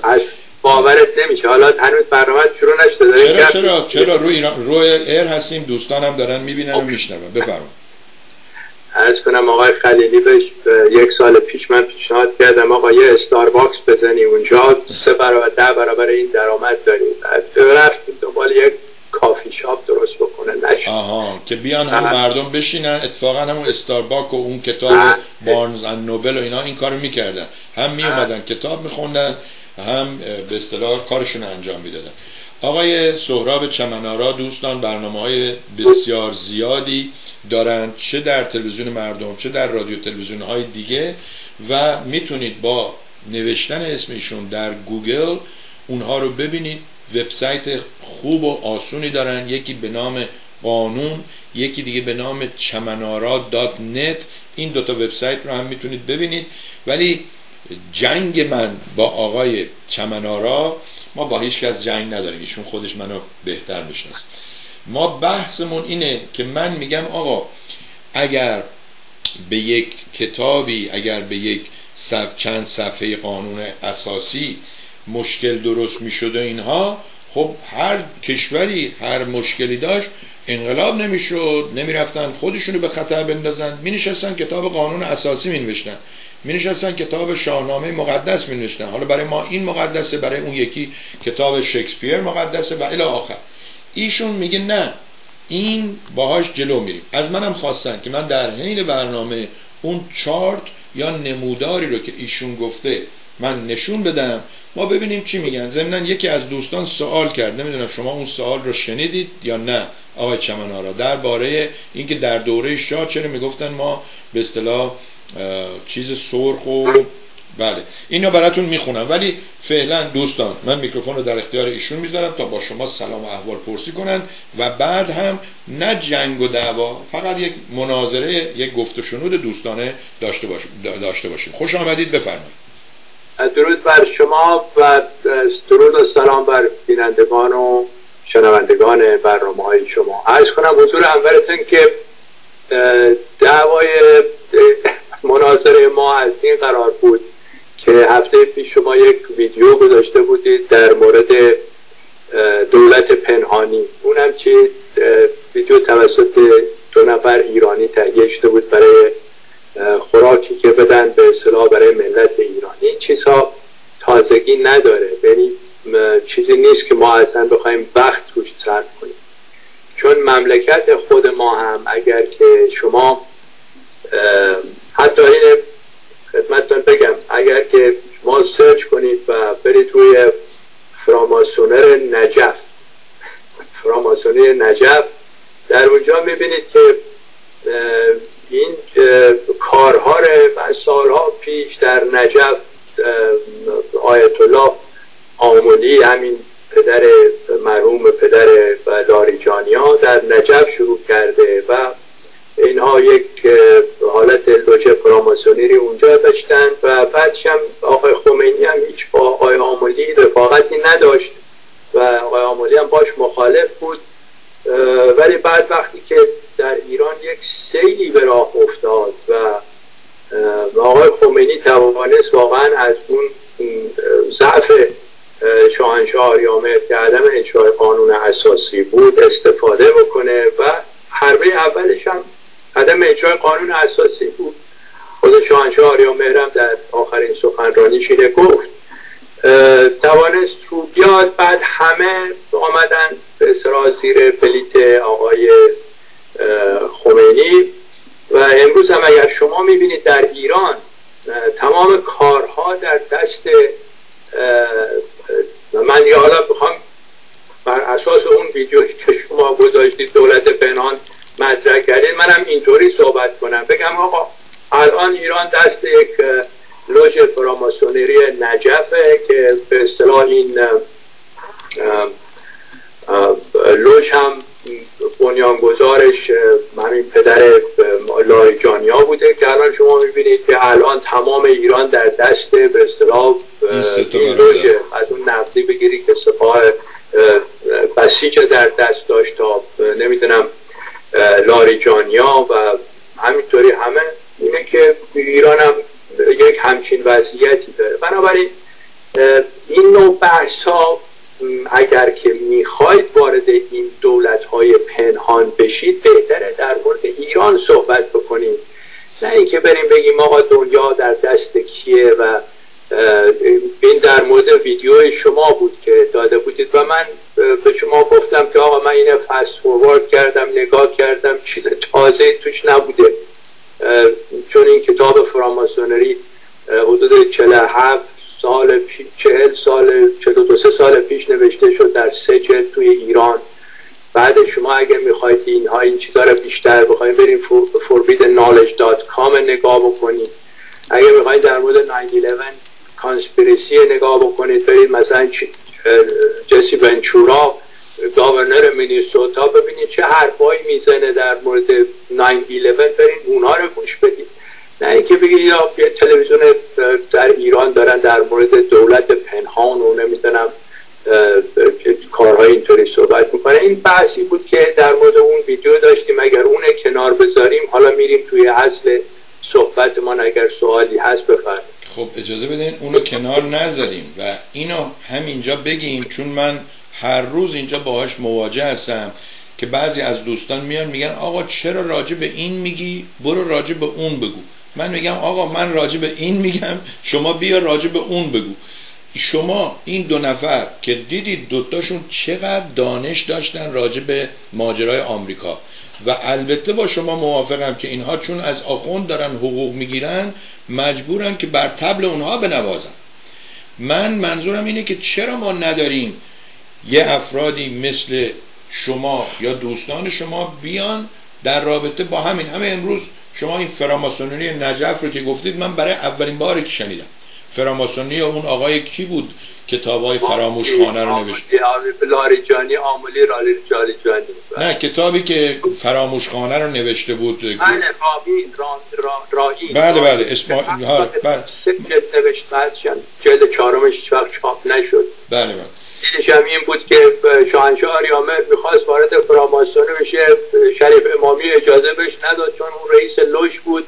بعد ایشان هم عصبانی شد و آقا برین حالا کاسه کوزه همه فراماسون رو آب بریزید. داستان دقیقا از این کتاب ها زیاد هست. سربی ما الان یک بدبختی در ایران داریم که من الان دوباره شروع کردم در مورد آبهای زیرزمینی. توی فیسبوک هم صحبت کردم. شما اصلا نمی‌دونید چه بدبختی. کلانتری وزیر کشاورزی آمده دیگه علنا میگه این بیطرف مهندس بیطرف یک آدم بیشرف بی همه چیزی که 38 سال اولا جز دانشجو پرو خط امام بود بعد آمد بیرون رفت توی سپاه و تمام این کارها و بدبختی های صدسازی ها چازنی همه چیز سر بیطرف بود که می‌خواست وزیر بشه تو کابینه روحانی. ببینید دیگه چقدر این باید خرابکاری کرده باشه و الان هم با اون چیت چیتیان نمی‌دونم دارم در مورد صدسازی ها صحبت می‌کنه. اینا مجلس اینه قبولش نکرد به وزارت. ببینید چقدر دیگه این بدبختی داره به به حد خودش رسیده. ببین آقا کلانتری داره هم علنا میگه وزیرم هست میگه آقا در 20 سال آینده ما خوزستان و نمی‌دونم آذربایجان تبدیل می‌کنیم به کبیر لوت. برحال اینها مشکل ما هست الان. نه اینکه آقا چه کانسپیرسی بوده در کواتلوب نمی‌دونم این شرکت نفتی چه کار کرده و اینا. معذرت می‌خوام میپرم تو حرف شما بفرمایید نه هیچ مسئله نیست. شما به این نکته اشاره کردید که شاه با زیر پا گذاشتن قانون اساسی به اصطلاح جاده رو آماده کرده بود آسفالت کرده بود برای آخوندا من از شما می‌پرسم این آخوندا که هم قانون حقوق بشر رو زیر پا گذاشتن هم قانون اساسی خودشون رو زیر پا گذاشتن 39 سال چگونه است که آماده نیست برای نفر دیگه. چون من باور دارم باید یکی پیدا بشه. مثل خمینی ریسک کنه. شما میگید نه مرور زمان این را حل می‌کنه. من میگم اگه مرور زمان این را حل می‌کنه که باید همه بشینیم هیچ کاری انجام ندیم. این در مورد این شما چه صحبت چه نظری دارید؟ من چون تصویر از شما ندارم آیا اون تصویر به اصطلاح هدف و چارت پشت سر شما هست یا اینکه هنوز اون مناظر بسیار زیبای آفیستان اونجا الان من این تصویر رو هم می‌ذارم و به دوستان بله. نشون میدم. بفرم ببینید آیه سربی استدلال من آخرین ویدیو هم که من داشتم یعنی کرده بودیم که حتی قرار بود کامل در تلویزیون اندیشه پخش بشه منتها سانسور شد فقط قسمت اولش پخش شد. ویدیو بود که من با آقای دکتر آبار و آقای دکتر کیانزاد از بزرگان و مشایخ اپوزیسیون نای دکتر کیانزاد یه شخصیت برجسته هستند در پان ایرانیست. داشتم و در اونجا هم عرض کردم. نگاه کنید مسئله قانون اساسی یک مسئله تازه نیست که من امروز مطرح کرده باشم. 150 سال پیش یک ایرانی فریخته به نام مستشار و دوله آمد یک کتابی نوشت یک کلمه به نام قانون. اون موقع دنبال قانون اساسی بودن که انقدر اینه کتکش دادن که کور شد و زندانیش کردن و زمان قاجار اون بعدش امیر کبیری میاد نمی‌دونم عباس میرزای میاد دانشجو میفرستن خارج. خلاصه مطلب آخوندزاده میاد. اینها در مورد قانون اساسی انقلابی به راه میندازن که انقلاب مشروطه اسمش اول انقلاب قانون اساسی بوده. مردم این مردم بی سواد و پابرهنه ایرانی شعارشان این بود که آقا ادالت خانه می‌خوایم. و این تبدیل شد به انقلاب مشروطه. و ما انقلاب مشروطه افتخار آمیزتر از لوحه کوروشه اولین سند قانون اساسی ایران لوحه کوروشه که حالا دوباره باز در اینجا من و تمام این کوروش کوروش کنا میگم که آقا اصلا فراموش کنید کوروش چی بود در نظر شاهنشاهی و نمی‌دونم امپراتوریش اینا. یه لوحه انقدری از جا مانده به عنوان سند اولین سند قانون اساسی دنیا نه تنها ایران. و این اینو بیاید مقایسه بکنید با مگن کارتای انگلستان که اینقدر میگن قانون اساسی ما بهترینه در دنیا. به هر حال ما قانون اساسی مشروطمان همون قانون انقلابی کردیم قانون اساسی مشروطه شد و بعد خب این انقلاب مشروطه نمی‌دونم مجلس به توپ بستن بعد آخونده زورشان با وجودی که آخونده رو اعدام کردن ولی خب آمدن چپاندن توش چهار تا آخوند باید اونجا باشه. و هر حال قانون اساسی بود برای زمان خودش. برای زمان خودش بهترین بود در منطقه. یعنی از یک کشور که واقعا کشور فلاکت زده بود شما نگاه کنید چه بدبختی های سر ایران بر سر این قاجار آمده بود که ایران به چه مرحله فلاکت رسید قانون اساسی مشروطه ما داشتیم و بر اساس اون قانون مشروطه می توانست ایران اگر همون قانون اساسی همینطوری تصحیح شد یعنی قانون های اساسی همیشه اینطورن یعنی اینکه قانون اساسی اول این قانون اساسی نیست که باشه این به مرور خوب قانون اساسی آمریکا را شما در نظر بگیرید. قانون اساسی اولش این نبوده. 250 سال طول کشیده به امروز رسیده. حال این قانون اساسی باعث میشه که ایران از یک حالت فلاکتی بیرون بیاد و بزرگترین شانسی که ایران در این تاریخ معاصر خودش پیدا می‌کنه آمدن یک فرشته نجاتی به نام رضا شاه کبیر. که این شخص در سال 1999 سوم اسفند کودتا می‌کنه و میشه سردار سپه طبق اون قانون اساسی و سردار سپه و بعد به مقام نخست وزیری می‌رسه ایران اصلا دگرگون میشه. و و واقعا لیاقت داشتن رضا شاه کبیر داره. یعنی اگر شما تاریخ ایران بین سالهای 1285 تا 1315 نگاه کنید می‌بینید که اصلا ایران اصلا رفت به عرش. بعد رضا شاه کبیر با این همه خدمات با این همه جانفشانی با این همه که من میگم اصلا یه فرشته بود رسید ایران. وقتی که ایران ترک می‌کنه مردم جشن می‌گیرن. آقا چرا این سوالی بود که من اونجا گذاشتم. هیچ وقت با من کسی جواب نداده. به خاطر اینکه در پنج سال آخر سلطنتش نه از روی خیانت بلکه از روی علاقه و عشقی که داشت می‌گفت که نباید این کشور من تنهایی ببرم. تمدن بزرگ البته اون موقع تو کلش نبود. این و همون باعث شد که آمد با آلمان ها قرار بست که ایران ببرند جهشت بدن و قانون اساسی به مجلس گفت طبیله و بعدش خب بلای همون سرش آوردن که بعد ما دوباره صاحب قانون اساسی شدیم که همون قانون اساسی و یک شاه جوان در ایران بود که این شاه جوان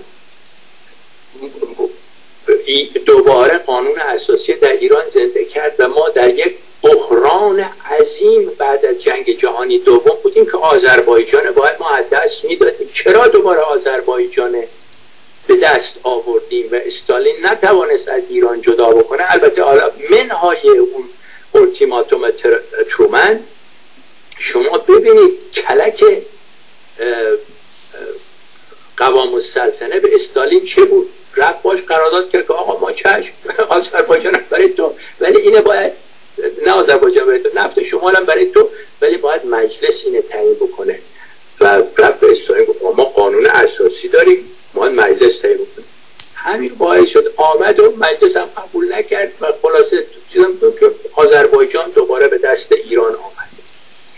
این شاه محبوب ما. آقای عوض می‌خوام. چون من این اشکال با آقای شوافرم گرفتم که ما هر وقت با یکی از شما دوستان می‌خوایم مصاحبه ای داشته باشیم که درباره امروز و فردا صحبت کنیم.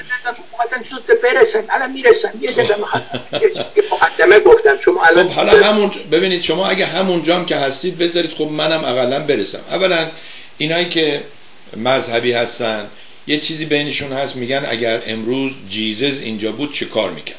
شما نمی‌تونی بگی بهترین اتفاقی که برای ایران افتاد این بود که رضا شاه شد شاه. شاید اگه یه نفر دیگه شاه می‌شد خیلی بهتر از این بود شاید مثل آتاتور عمل کرد. رضا شاه رو بذاریم کنار. بذاریم من زودتر برسم. من خواستم اینه بگم که محمد رضا شاه هم یه شاهنشاه محبوب بود. اونم به علت عدم اجرای قانون اساسی آقای خمینی ازش ایراد گرفت قانون اساسی اجرا نمی‌کنه و بنابراین رفت کنارش. این می‌رسیم به 57 در سال 57 هم یه عده پیدا شدن. یه پیشنویس قانون اساسی بردن خدمت آقای خمینی زیر درخت سیب ایشان تایید کرد و قرار بود یه همچی قانون اساسی شاملش بشیم ولی خودتان بهتر گفتم هم اونجا. ظرف یک ماه مجلس مؤسسان تبدیل شد به خبرگان و قانون اساسی شرعیات درست شد که این این قانون اساسی ما شد و ما 38 سال گرفتار این قانون اساسی هستیم. حالا حالا رسیدیم به امروز. درست؟ تا اینجاش خیلی معذرت می‌خوام اگه یه خورده زیادی صحبت کردم. از حالا به بعد کار باید بکنیم؟ حرف منم همینه. اجازه میفرمایید من از حالا که شروع صحبت بکنم گذشترم فراموش بکنیم. ما داریم 38 سال گرفتار این قانون اساسی هستیم. من با خانم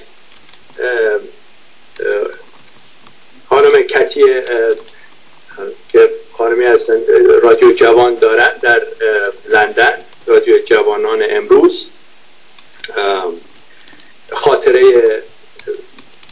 نورشاد مصاحبه داشتم دوبار اونم البته یه اختلاف عقیده مثل من و شما که الان 180 درجه با هم در بعضی موارد اختلاف عقیده با ایشان هم اختلاف داریم. گفتم آقا خانم من با شما یه برنامه اینجا می‌کنم. تمام کارهایی که این رژیم انجام میده طبق این قانون اساسی. هیچ کاریش نیست که طبق و گفتم نگاه کنید یه برنامه با هم درست کنیم. شما هر کاری که این رژیم می‌کنه از دزدیاشان بگیرید تا اسید پاشی زندان اعدام نمی‌دونم هر چی که هست شما بشو دادستان. بنده میشم وکیل مدافع طبق این قانون اساسی به شما ثابت می‌کنم که اینا هر کاری که می‌کنن طبق این قانون اساسی. یعنی از دزدیشان بگیر خلاصه به شما میگم. از دزدیشان بگیر تا نمی‌دونم اسید پاشیشان هر کاری. اگر شما فهمیدید که اشکال قانون اساسیه بعد اون موقع ما میگیم که حالا راحل چیه؟ راحل همین چیزیست که بنده الان 15 ساله دارم میگم. تو هر گروه و هر دسته و هر جبهه و هر چی هم که بودم هر کی بخواد قانون اساسی صحبت کنیم میگه نه آقا قانون از اول این رژیم سرنگون بکنیم بعد بریم قانون اساسی بنویسیم. آخه پدر مرشید آخه شما چطوری می‌خواین رژیم سرنگون بکنید؟ این رژیم سرنگون بشو نیست با شما ها ما دو تا اپوزیسیون پولدار داریم. بقیه اپوزیسیون هم که دنبال این اصلا ده دلار و صد دلار این باید جمع بکنن مثلا بعد فرض کن که صد هزار دلار هم جمع کردین شما. بعد بخواد چیکار بکنیم آقا اینها حزب داشتن تشکیلات داشتن حزب حجتیه بوده معتلفه بوده نمی‌دونم حسینی ارشاد بوده. همه اینها سالهای سال اینا با هم چند شدن بر اساس کتاب این کتاب آقای خمینی که نه سال قبل از انقلاب نوشته شده این قانون اساسی تنظیم کردن و حالا همشون توی هستن. منتها شما فراموش کنید که اینها اگر یه موقع این سر کار میاد احمدی نژاد میاد خاتمی میاد نمی‌دونم رفسنجانی میاد هیچ فرقی نمی‌کنه. هیچ فرقی نمی‌کنه چون اینا این قانون اساسی دارن. آقا کتابی که آقای خمینی نه سال قبل از انقلاب نوشته چی بوده؟ حکومت اسلامی بوده. یعنی هر چی که الان تو این قانون اساسی هست از این اقتباس شده. خب اینو اینو به دوستانی که فکر می‌کنن تا یه شب قبل از انقلاب کسی خمینی رو نمیشناخت بگید که عوض بشه. نه اجازه بله. یک کشور 35 میلیونی در سال 57 بودیم. تو این 35 میلیون شاید فقط آخوندهای فیضیه اونها آخوندا که 300 400 نفر بودن شاید ده هزار نفر 20 هزار نفر بودن. بله اونا خمینی خیلی خوب میشناختن. بنده خودم یه محصل کلاس ده بودم. اولین ویدیوش من گوش دادم. یه دوستی هم داشتیم به اصلاح نمازخان و این چیزها بود. آمد دو بیا یه ویدیو نشانه دادم من ترسیدم. که داشت می‌گفت به شاه می‌گفت آقا شاه بهش گفته بود من چکمه. کاری نکن که من چکمه پدرمه بپوشم اینم بهش جواب داده او چکمه برای تو خیلی گشاده. این جواب درست مثل دیروز ده سال کلاس ده میشه بود پنجاه سال پنجاه و پنج سال پیش. من اینش بله خمینی شناخته شده بود بین دیویس سیصد نفر آخون و شاید صد هزار دیویس هزار. ولی یک جمعیت سی و پنج میلیونی شما اگه می‌رفتید میگوی خمینی خمینی اصلا شاه کرد خمینی. بعد بعد از سال چهل و دو. اینها همش ببینید آقای من می‌خواستم حالا نرم توی تاریخ. فقط بگم آقا راحل چیه؟ بریم جلو. بیایم بیایم برسیم به راحل چیه؟ امروز اینجا هستیم. امروز شما خودتون اذعان کردید که اگر اینها موفق شدن به دلیل داشتن پایگاه هایی بوده که به عنوان حزب به عنوان سازمان. حالا اسمشو مسجد بذارین اسمشو حزب چی بود؟ ات... نه نه نه اون حجتیه بذارید هرچی همه اینا یکی هست. من دارم از شما اینو می‌پرسم آقای چمنارا شما که میگید من با آقای دکتر کیانزاد مصاحبه کردم من با ایشون دو بار مصاحبه کردم خیلی آدم بزرگی خیلی آدم خوبی. ولی اینی که ما میگیم اینها یا مثلا اون دکتر آوار رهبر اپوزیسیون یا هر وقت خودش می‌خواد معرفی کنه میگه من اول این حزب سکولار فلان آقا این حزب سکولار اصلا ایشون بیاد ما یه title یه سند بنویسیم بدیم به ایشون. بگیم شما درست کردی و این نوری علا از شما دزدید. خب که چی؟ چند نفر هستن؟ این آقا با یه تلویزیونی مثل همون خانمی که یه رادیویی تو خونش داره مثل من مصاحبه می‌کرد توی هلند.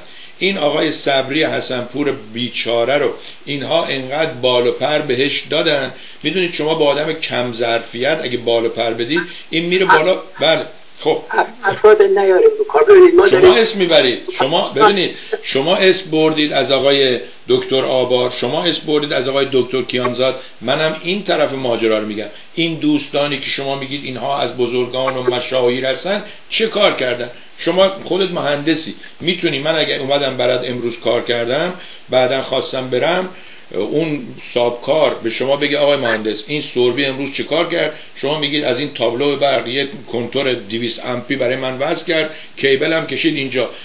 آقای کیانزاد چه کار کرده در این 39 سال؟ اصلا اصلا فراموش خیلی معذرت می‌خوام اگر اسم افراد بردم. من اصلا می‌خوام منحرف نشم. اصلا خب، کاری نداریم. ببینید شما, شما تا حالا تا حالا آقای چمنارا آقای در آینده ما باید چیکار بکنیم. آقای چمنارا اجازه بدید؟ اجازه بدید؟ کردم که علت اینی که ما در این چاله افتادیم قانون نه این, این نشد. آقای چمنارا اجازه بدید؟ حالا من می‌دونم بعد دوستان اعتراض می‌کنن که چرا من وس... فریدم وسط حرف شما. موضوع اینه که آقای چمنارا خودشون ویدیوهای یک ساعته نیم ساعته درست می‌کنن و به صورت مونولاگ خودشون تنها صحبت می‌کنن. شما می‌تونید ببینید. ولی این دعوتیه که من از ایشون کردم. بیان تا با هم دو تا کلمه حرف بزنیم. گفت و شنود. شما میگید آقای رضا تا میگم میگی ولش میگید آقای دکتر کیانزاد تا میگم میگی ببخشید من اسمشو بردم. میگید لوحه کوروش حتما حالا تا من بخوام بگم که خب قبل از لوحه کوروش این کشورهای دیگه ای مثل نمی‌دونم چین و مثل مکزیک و اینها که پنج هزار سال مثل دوستان یهودی که پنج هزار سال قدمت دارن شما میگید یعنی اینها کشورشون دولتشون همینجور هرهری میچرخیده هیچ هیچ قانون اساسی نداشتن. و این چه قانون اساسیه که ما میگیم حقوق؟ شما میگی برو رو این تیکه لوحه همه چی نوشته. ای کاش این لوحه رو یک کسی برای با فارسی برای من بنویسه. ببینم چقدر چی جا می‌گیره رو این.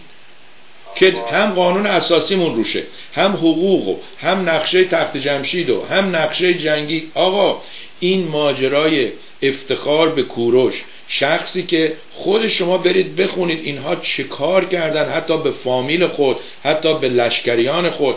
اینها شماها رو به یک جایی میکشونه که شما در جا می‌زنید. بحث من اینه. آقای دکتر کیانزاد آقای دکتر آبار اینا افرادی هستن که حالا کبر سن هم اضاف شده بهش. حالا باز تو همه اونها شما هم کارتون سیستماتیکه هم چون رشته برق و مهندسی هستید یه نقشه کشیدید. من الانم اینجا گذاشتم نشون میدم. دوستان این چارت یا نمودار رو نگاه کنید. شما اینو وقتی توضیح می‌دید یعنی این نقشه راه. درسته؟ این بلوپرینت کارتونه. چه جوری مردم چه کار کنن با این؟ اینو توضیح بدید امروز. خیلی متشکرم. پس بنابراین ما دیگه در مورد افراد و شخصیت ها صحبت نمی کنیم مثلا کاری نه به کوروش داریم نه به مجاهدین داریم نه به ما داریم میگیم که آقا ملت ما الان گرفتار یک قانون اساسی است که 38 ساله داریم این مملکت به لبه پرگاه رسانده از نظر آبهای زیرزمینی هر لحظه ممکنه به ایران حمله بشه. هر لحظه که چی در ایران ممکنه شورش بشه علتش چی علتش اینه که ما گرفتار یک قانون اساسی هستیم. شما برداشتن افراد هیچ فرقی نمی‌کنه. من برای شما یک ویدیو گذاشتم و اشتباها اسمش گذاشتم. سرود شاهنشاهی که هر موقع بخوایم با هم صحبت کنیم اول اونه بذاریم. و اون سخنگانی یک دو دقیقه آیت الله. خاتمی امام جمعه تهران و از سرکردگان این رژیمه که گفت آقا وقتی که روحانی به اصطلاح طرف های اصلاح طلبا برنده شده بودن و اصولگراها به اصلاح خید شده بودن آمد یه سخنرانی کرد گفت آقا هیچ فرقی نمی‌کنه که کی رئیس جمهور بشه. هیچ فرقی نمی‌کنه که کی بره توی نمی‌دونم شورای شهر. کی فرقی نمی‌کنه کی بره مجلس. اساسی داریم و این مملکت بر اساس اون قانون اساسی یه چارچوبه داریم بر اساس اون قانون اساسی اینجوری. اون که چهار تا اصل داره که این چهار تا اصلش هر کی بیاد هر کی نمی‌دونم بشه به جمعه نمی‌توانه اینا رو عوض کنه. این مشکل ماست. مشکل ما قانون اساسیه نه اینکه آقا شما آقای خامنه ای هم امروز فرض بفرمایید رحلت بکنه. میشه؟ اتفاق نمیفته آقای شارودی میاد جاش. آقای رئیسی میاد جاش. آقای نمی‌دونم یکی میاد. انقدر اینا سیستم دارن. سیستمشون هم بسیار بسیار قویه هیچ راه مبارزه با اینا نیست. آقا میگه آقا بریم انتخابات بکنیم. ما انتخابات چی بکنیم؟ خب اینا دارن انتخابات می‌کنن. میگن رفراندوم بکنه. خب میگن رفراندوم هم کردیم. حقوق بشر صحبت می‌کنه اینا میرن تو سازمان ملل میگن که آقا ما بهترین حقوق بشر دنیا رو داریم. مثلا شما چی میگی؟ ما حقوق بشر اسلامی داریم. آقا شنیدم, شنیدم به عنوان صلیب نماینده صلیب سرخ می‌خواد ایران انتخاب بشه. و تمام اینها به خاطری که نگاه کنید قانونیه این کار اینها بر اساس قانون اساسیشون قانونیه از نظر خودشان از نظر من و شما. من اون روز داشتم به یکی از دوستان می‌گفتم می‌گفتم اگر اینا یه دو تا کار بتونن بکنن دو تا چه سال دیگه سر کارن؟ و اون اینکه بگن آقا موسیقی و اینا آزاد هیچ جلوگیری ازش نکنین. و خانم ها هم می‌توانن تا اینجا سرشان روسریشان عقب ببرن. این دوتا رو بکنن قانون مسئله خیلی حل میشه. ببینید اینها منتها به قول آقای دکتر بدیعی در پاریس که تشریف دارن گفتن به دو دلیل اینها اصلاح پذیر نیستن به خاطر تحجرشان. یعنی اینها نمی‌توانند و آقای منصور فرهنگ هم فرمودن انقلابات طبق قوانین دنیا وقتی روی میاره که مردم از اصلاحات ناامید بشن. چون از اصلاحات ناامید میشن انقلاب به وجود میاد. انقلاب وقتی که پیش بیاد یعنی اینکه مردم حرکت بکنن دیگه هیچ کس جلودارش نیست. هیچ نقشه ای نمی‌تواند جلودارش باشه. به همین دلیل من آمدم به شما عرض کردم که آقا من میگم این انقلاب ممکنه در سال 2020 اتفاق بیفته. یه عده میگن نه آقا اصلا 6 ماه دیگه ممکنه این مملکت منفجر بشه. یه عده میگن نه آقا اینا نشستن 20 سال. منتها من دارم میگم وقتی که اون انقلاب پیش بیاد یعنی این سیل به راه بیفته ما تجربه تاریخی داریم. اون چیزی که باید الان در فکرش باشیم اینه که وقتی که این سیل به راه افتاد و انقلاب پیروز شد چه قانون اساسی ما می‌خوایم داشته باشیم؟ پونزده سال من اینه دارم میگم که آقا شما چه قانون اساسی می‌خواید داشته باشید بحث من نه که من قانون اساسی نوشته باشم. من آمدم قانون های اساسی مختلف یک کلکسیون درست کردم در قانون داد ارگ قانون اساسی رو گذاشتم اونجا گفتم آقا آقای دکتر نصر احمدی آقای جنبش سبز آقای تیمسار آریان پور آقای یاشا پارسا شما بعد هفتش ده تا دیگه 20 نفر دیگه که قانون اساسی نوشتید بیایید اگر شما 20 نفر آدم فرهیخته توانستید با هم توافق بکنید که آقا این قانون اساسی ایدئال ماست و این قانون اساسی ما در ایران معرفی بکنیم. تمام رسانه های ما که فکر می‌کنن در ایران شنونده دارن که ندارن این خدمت شما جلو خودت میگم آقای سربی که شنونده ندارن. در ایران این اشاعه بدیم و مردم این بشه شعارشان که وقتی که انقلاب اتفاق افتاد که اگر بیفته بدانند که این رژیمه که نمی‌خوان چیه می‌خوان. ما فقط و فقط از طریق قانون اساسی می‌توانیم بگیم که چیه می‌خوایم. نه اینکه هی بگیم مرد بر این مرد بر اون. و آقا یه آقای هم آمده اینجا می‌خواد بشه رهبر. من از این آقای رهبر الان ده ساله و هر طریقی که توانستم سوال کردم آقا بالاخره جنابالی می‌خواید شاه بشید یا می‌خواید نخست وزیر بشید و اگر که می‌خوای شاه بشی کدام قانون اساسی می‌خوای اجرا بکنی؟ اگر می‌خوای نخست وزیر بشی کدام قانون اساسی شما منظورتون منظورتون آقای رضا پهلوی منظورتون آقای رضا پهلویه؟ دوباره خواستم اسم نیارم. نه دیگه خب باید بگیم که مردم رجبی در تماس بودم بله. با رجبی گفتم تو می‌خوای حالا به خاطر که اسم نبرم از کسی که کسی ناراحت نکرده باشم آقای رجبی که الان مرحوم شد و رفته به گفتم آقا تو می‌خوای حکومت عدل علی بیاری؟ به من بگو این حکومت عدل علی چیه؟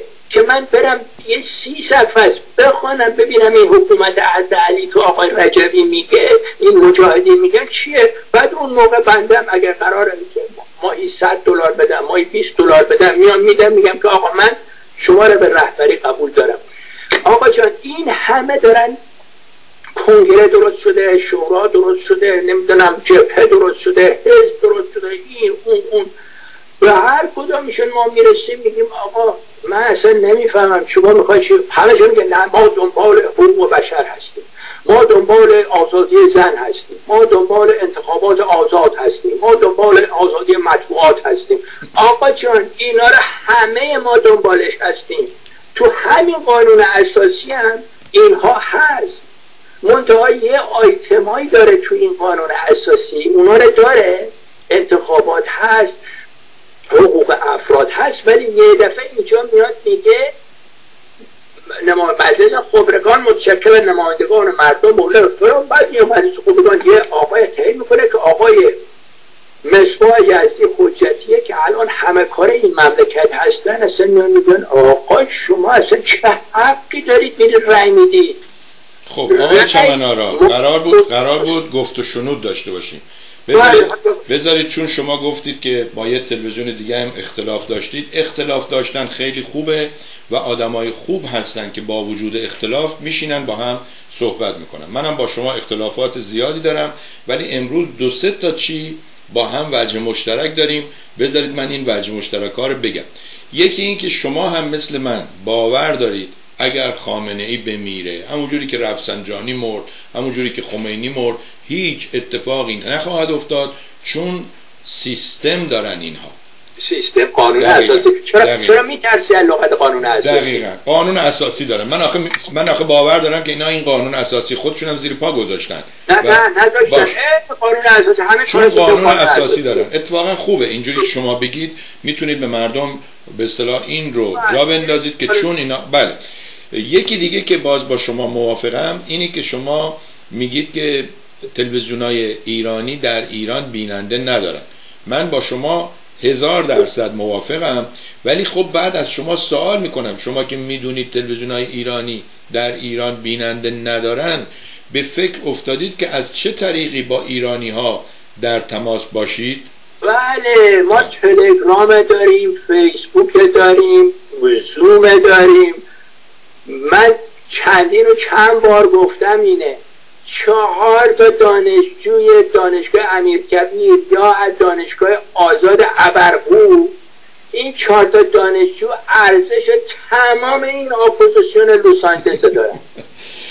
متوجه دارن چی میگن؟ بله بله. شما. اینها هستن. شما شما برید اصلا چرا من براتون ویدیو میفرستم؟ آقا این ویدیو تو ایران داره درست میشه. یارو دانشجو 23 ساله جلو رئیس جمهور وای میشه بهش فوش میده. نه اونا اونایی هستن که مال خط امام و نه نه نیستن نیستن. اینها دانشجو هستن که تو اینجاشون رسیده. اینها منتها کمن. اینها متشکل نشدن به جمهوری اسلامی هم خوب میدنه الان هم دارن در مورد قانون اساسی صحبت می‌کنن. آقای لاریجانی در مجلس میگه یک چیزهایی در قانون اساسی باید ما تدقیق بکنیم. آقای روحانی میاد میگه قانون اساسی ما باید تصیب کنیم حرف اینها اینها همش ضد کودتاست. اگر بفهمی معنی ضد کودتا یعنی چی؟ یعنی اینا دارن آماده می‌کنن. چون می‌دونن به هیچ وجه بدن وجود اینها جابجا جا بشو با نه نیروی آمریکا با یک میلیون سربازم نمی‌تونه هیچ غلطی برای ایران بکنه. اینا پابجا هستن. خب آقا بذارید اون چیزایی که اون چیزایی که با شما اینها تنها چیزی که اینا میگه سیل مردمه. این مردم مردم ایران باید قبول کنن که دردشان قانون اساسیه و وقتی که قبول کردن این سیل به راه میفته و هیچی جلودارش نیست. من نگرانیم سر اینه. بسیار وقتی این راه بیفته دیگه هیچی جلودارش نیست. از حالا باید این قانون اساسی در ذهن مردم ایران ملکه بشه. اجازه بدین یه چیز دیگه هم که با شما موافقم اینه که افرادی که حالا گفتید اسمم نبریم اسم نمی‌بریم که می‌خوان بگن ما رهبریم یا فردا یک کاری می‌خوایم انجام بدیم جالبه که منم مثل شما ازشون می‌پرسم که خب این اساسنامتون برنامهتون چیه؟ به من بدین چون هی دعوت می‌کنن بیا آقا به ما بپیوند. میگم به شما بپیوندم کجا؟ مثلا 50 سال 120 هزار تا شهید یا امروز آقای رضا پهلوی بعد از ریاست شورای ملی حالا میگه که من نگفتم چی شد این بازنشست شد بعد این شورای ملی چه کار کرده؟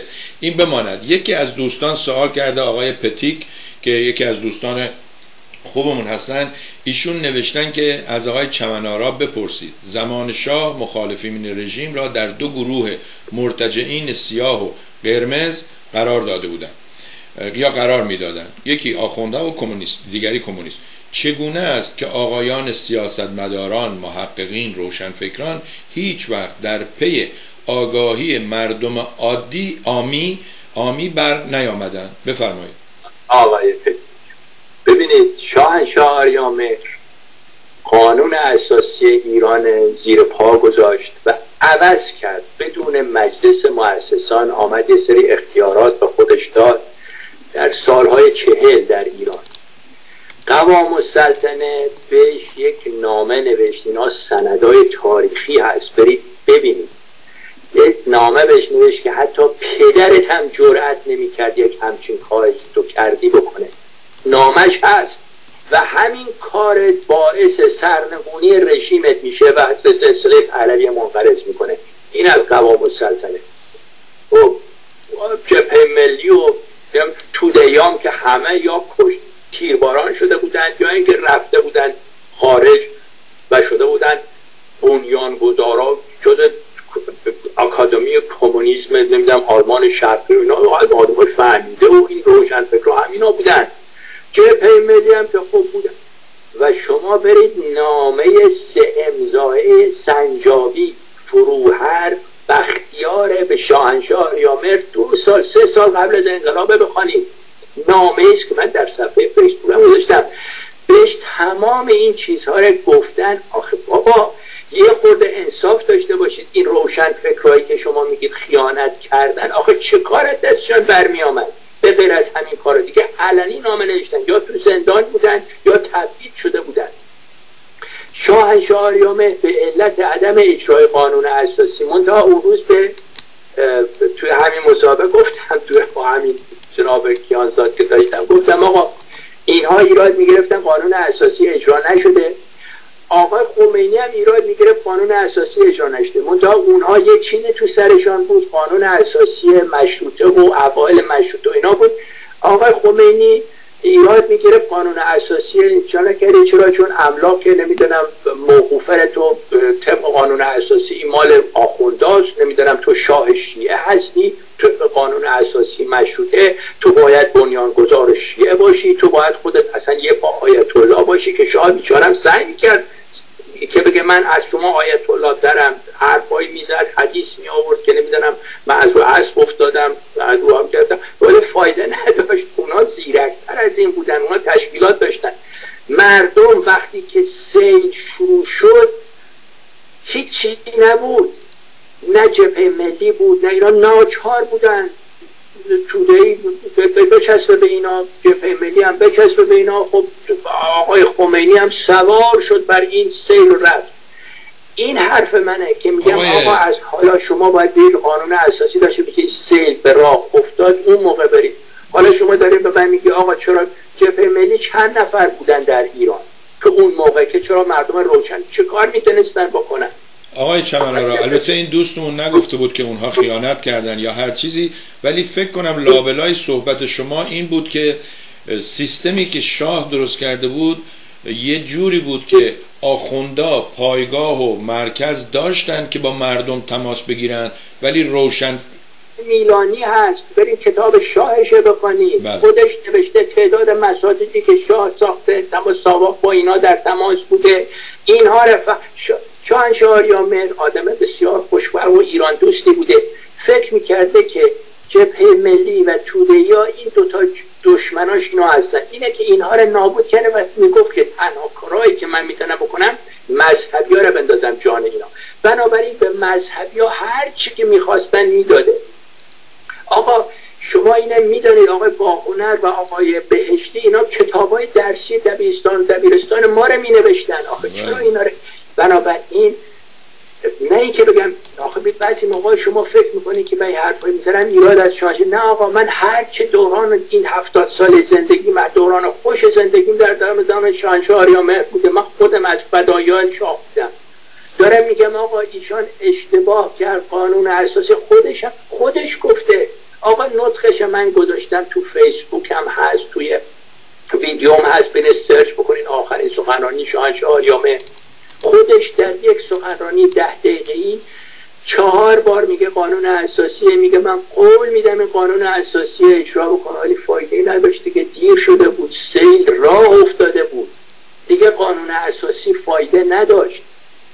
به همین دلیل هست من از حالا میگم باید قانون اساسی شما بنویسید با هم توافق بکنید. این بشه ملکه ذهن تمام مردم توی ایران که وقتی انقلاب میشه و انفجار شروع میشه یه آقای چلبی بلند نشه در بحبوه اونا یا اینکه یه نفر پیدا بشه بره, بره ایران مثلا همه کنه. تمام این افرادی هم که مخالف قانون اساسی هستن همچی فکری تو کلشونه چون می‌فهمن بله. که اگر بیان قانون اساسی بنویسن دستشان رو میشه. دیگه مردم پای صحبت شد. و چقدر قشنگ صحبت کرد از حقوق زنان صحبت کرد از حقوق بشر صحبت کرد انتخابات آزاد صحبت کرد. فلان خب همه اینا رو ما همه می‌دونیم. یا اینه به صورت قانون اساسی بنویس که من بخوانم و بگم آقا این قانون اساسی. خود آقای نصر احمدی شما ببینید ما با هم رفیق. ما با هم دو تا سه تا از این اختلاف داشتیم. تیمسار آریانپور آیا قبول دارید که من ایشان به عنوان یه شخصیت برجسته ایران دوست قبول خب قانون اساسیش هم هست. آقای آرشا پارسا قانون اساسی نوشته. جنبش سبز حقوقدانانشون قانون اساسی نوشتن. آقا حرف حساب من اینه که آقا شما چهار نفری این با هم چهار نفری بشینید با هم. اگه شما توانستید توافق بکنید که در انقلاب بعدی ما قانون اساسی ما این باشه. منتها اون بابا یه چیز دیگه تو کلشه. میگه نه. من دنبال عدل علی هستم. خب عدل علی هم تو دهات ایران و نمی‌دونم یه جای ممکنه یه خریداری داشته آه این دنبال عدل علیه. حالا عدل علی چیه من نمی‌دونم. بیا برای من توضیح بده ببینم عدل علی چیه. این یکی میگه نه آقا من می‌خوام بیام در ایران رفراندوم بکنم خب رفراندوم هم کردی. بعد چی می‌خوای بشه؟ انتخابات هم کردی. بعد می‌خوای چی بشه؟ با کدام قانون اساسی تو می‌خوای بشی شاه؟ با کدام قانون اساسی می‌خوای بشی نخست وزیر حرف من اینه. بله. آقای چمنارا یکی از دوستان روی فیسبوک نوشته که آخوند روباه مکاری است که پشت پرده با سیاستمداران اروپایی آمریکایی دستش در یک کاسه جنایی جنایی بر علیه مردم بیچاره است که هیچ برنامه کاری شما به نتیجه برای ایران نخواهد رسید. البته این نظر خب، ایشونه. نظر خودشانه داده. ما داریم در ایران شما ببینید در همین شاهنامه که شما مسخرش می‌کنی. من مسخره نمی‌کنم شاهنامه من شاهنامه نه. نه نه نه نه بذارید سنگمون رو وا بکنیم. من آره. شاهنامه رو به عنوان یک کتاب داستان خوب همون جوری که نوشته های همین کتاب همین کتاب. الان با وجودی که بنده هیچ کاری هم روش نگردم. فقط یک کتابی نوشتم گذاشتم تو وبسایت و به چند تا اون اولا 7 ده سال پیش چند تا تبلیغ می‌کردن. باور کن های اون موقعی که من حوصله داشتم می‌رفتم این استاتیستیکا رو نگاه می‌کردم. بله. اون موقع 100 هزار دانلود داشته. که الان من فکر می‌کنم حدود یک میلیون نفر این شاهنامه من حتی دانلود کردن. حالا یه میلیون چند نفرشون خواندن ولی دارم از شما می‌پرسم. یک نفر از این رادیو تلویزیون هایی که شاهنامه خانی می‌کنن چون لس شما شنیدید که اصلا بیان در مورد شاهنامه من حرف بزنن. نه. منم احتیاج ندارم. منم احتیاج مالی دارم نه احتیاج تبلیغاتی دارم. من هفتاد سالم بازنشستم. دارم میگم آقا راه نقشه راه اینه. اگر شما فکر می‌کنید نقشه راه دیگری هست بفرمایید. بله آخوندا زیرکن. آخوندا تشکیلات دارن. تشکیلاتشان حجتی است مدرسه حقانی اینا همشان یکی منتها اینا همشان همشان یک قانون اساسی دارن. مثل آمریکا. اون روز عرض کردم. شما در همین آمریکای ما می‌بینید کوکاس کلن هست. این طرف هم لیبرال سان فرانسیسکویی هست. اینا دوتا رو اگر شما توی اتاق بسارید اگر چاقو دست شما باشه تو شکم هم می‌کنن. ولی همین کوکاس کلن و همین نجات پرست سفید نجات پرست سفیدی و دموکرات لیبرال سان فرانسیسکویی در مورد یک چیز با هم توافق دارن و متحد هستند و اون قانون اساسیه. آقا جان ایران این وضع اپوزیسیون مثل اینه که همه خیلی قشنگ آواز می‌خوانند و ساز می‌زنند. ولی یه نوت جلوشان نیست که اینا رو با هم هماهنگ بکنه. شما مجسم بکنید. یه چند تا خواننده آقای گلپایکانی و ساز فلانی و اینا اونا بیان با هم چی یکی دشتی بخونه یکی ماهور بخونه یکی همایون بخونه بعدش خب همشون خیلی عالی می‌خوانن. اینه که با تک تکشون که صحبت می‌کنی می‌بینی آقا حرفای درست حسابی می‌زنن. میگن انتخابات باید بشه. رفراندوم باید بشه. زنها آزاد باشن. نمی‌دونم مردم آزاد. همه حرفاشون خوبه. ولی وقتی که میان اینه با هم به صورت یک چیز نوت بنویسن که قانون اساسی در هم میشن اینه که ما الان 38 ساله ای اپوزیسیون توده و می‌زنه تو سر جبهه ملی جبهه ملی می‌زنه سر شاه‌اللهی شاه‌اللهی نمی‌دونم مجاهد ولی اگر شما اگر اینا توانستن روی قانون اساسی با هم توافق بکنن اون موقع نمی‌دونم هیچ کس جلودارشان نیست. یعنی ملت سیلی به راه میفته و میان دنبال قانون اساسی. همین. بسیار ممنونم. این نقشه یا چارتی که گفتید یا نمودار رو من گذاشتم. اگه می‌خواین یه مقداری کوتاه دربارش توضیح بدید. بله ما ما ببینید ما گفتیم آقا هدف ما اینه که بیاد این اپوزیسیون. اگرم نکنن در ایران این کار خواهد شد منتها دیرتر. اینا با هم توافق بکنن و این بشه شعار ملت در انقلاب بعدی. حالا ولی الان اگر شما این آزادی هم داشته باشید برید در توده مردم. نه اون الان بعد میگم من خیلی از دانش دانشجوهای دانشگاه 20 25 ساله 30 ساله که اصلا متولدم نشده اینا به یه شکلایی حتی امروز ما در ساعت ده شب که الان دیگه گذشت در ایران همون چیز ویدیوش براتم فرستادم مال نهاد مردمی که تشکیلات بزرگی با ایران در تماس هستن ساعت ده شب به مدت سی ثانیه چراغاشون رو خاموش کردن. حالا پنجاه نفرم خاموش بکنن برای ما کافی همون پنجاه نفر. اینه ما ادامه میدیم. یعنی ما منتظر این نیستیم که فلان کسک تو سان فرانسیسکو یا تو لس آنجلس بیاد بگه بعد شما درست میگی قانون اساسی چیز خوبیه. نه. ما میگیم هدفمون اینه خواستیم به ما بپیوندید با نه که ما رو به نه. چمنارا من خوشحال بودم که امروز تونستیم یک کم به توافق برسیم. شما باز با اسم نهاد مردمی آوردن مثل اینکه زخم اجازه بدید اجازه بدید. مثل اینکه زخم من... اجازه بدید. ماشاءالله. اجازه بدید. مثل اینکه نه من نبر توی نمی‌دونم آقای ای بابا. ببینید عزیز من خب شما میگید منم باید بگم دیگه. گفت نهاد مردمی اسمه. شما میگید یه نا... آقای چمنارا آقای چمنارا. آقای چمنارا خودتون بعد از برنامه این برنامه رو نگاه کنید. خودتون به من بگید آیا گفت و شنود باید به این صورت باشه؟ هر اسمی که شما می‌برید به مجردی که من می‌خوام یه چیزی بگم شما میگی اونو ولش کن. بریم سراغ یکی دیگه. شما راجع به نهاد, مردمی شما شما راجع به نهاد مردمی گفتید. من سالهاست نهاد مردمی رو می‌شناسم. عملکردشون رو می‌دونم. یه روز میان هسته را میندازن. یه روز میان پوس پسته را میندازن. یه روز میان میگن پولای خوردتون رو جمع کنید. امروز آمدن گفتن سی ثانیه چراغ خاموش کنید. همون تلویزیونی که شما توش برنامه داشتید یه آقایی رو می آورد می‌گفت وسایل برقیتون رو بزنید به برق و همه رو حد اکثر روشن کنید تا ژنراتورای شهر, شهر بسوزه. ببینید شما چون مهندس برق هستید میخندید.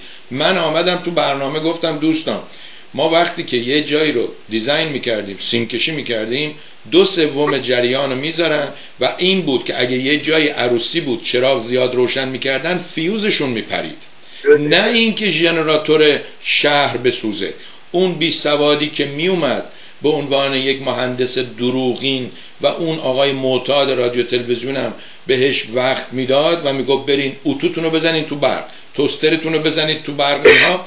حالا نهاد مردمی دو سه نفر آدم شکست خورده یکیش از موزیک یکیش از نمی‌دونم کارش یکی از کارهای تلویزیونی آمدن. یه روز میگن هسته یه روز میگن پول خورد امروز گفتن چراغ. حالا شما میگی پنجاه نفرم که چراغا رو خاموش کنن یه اتفاقی میفته آقا ای کاش خمینی هم می‌گفت چرا اینا یه حرکات نمادینه جناب سردی. حالا اجازه بدید من بخواستم نتیجه گیری صحبت بکنم. اگه شما دیگه ساکت میشم. دیگه ساکت میشم. ساعت ادامه میدین؟ ما حرفی نداریم. نه نه نه ساعت ساعت چهار برنامه آقای ارشاد. من ساکت میشم. شما تا ساعت چهار صحبت کنید چون ساعت چهار نوبت برنامه آقای حسن ارشاد ما گفتیم که آقا اگر شما امروز برید قانون اساسی در ایران مطرح بکنید این ممکنه خریداری نداشته باشه. زمانی قانون اساسی در ایران خریدار پیدا میشه که این هویت از دست رفته وقتی که دانشکده های ما رو میبندن و به جاش دانشگاه نوخانی باز می‌کنن.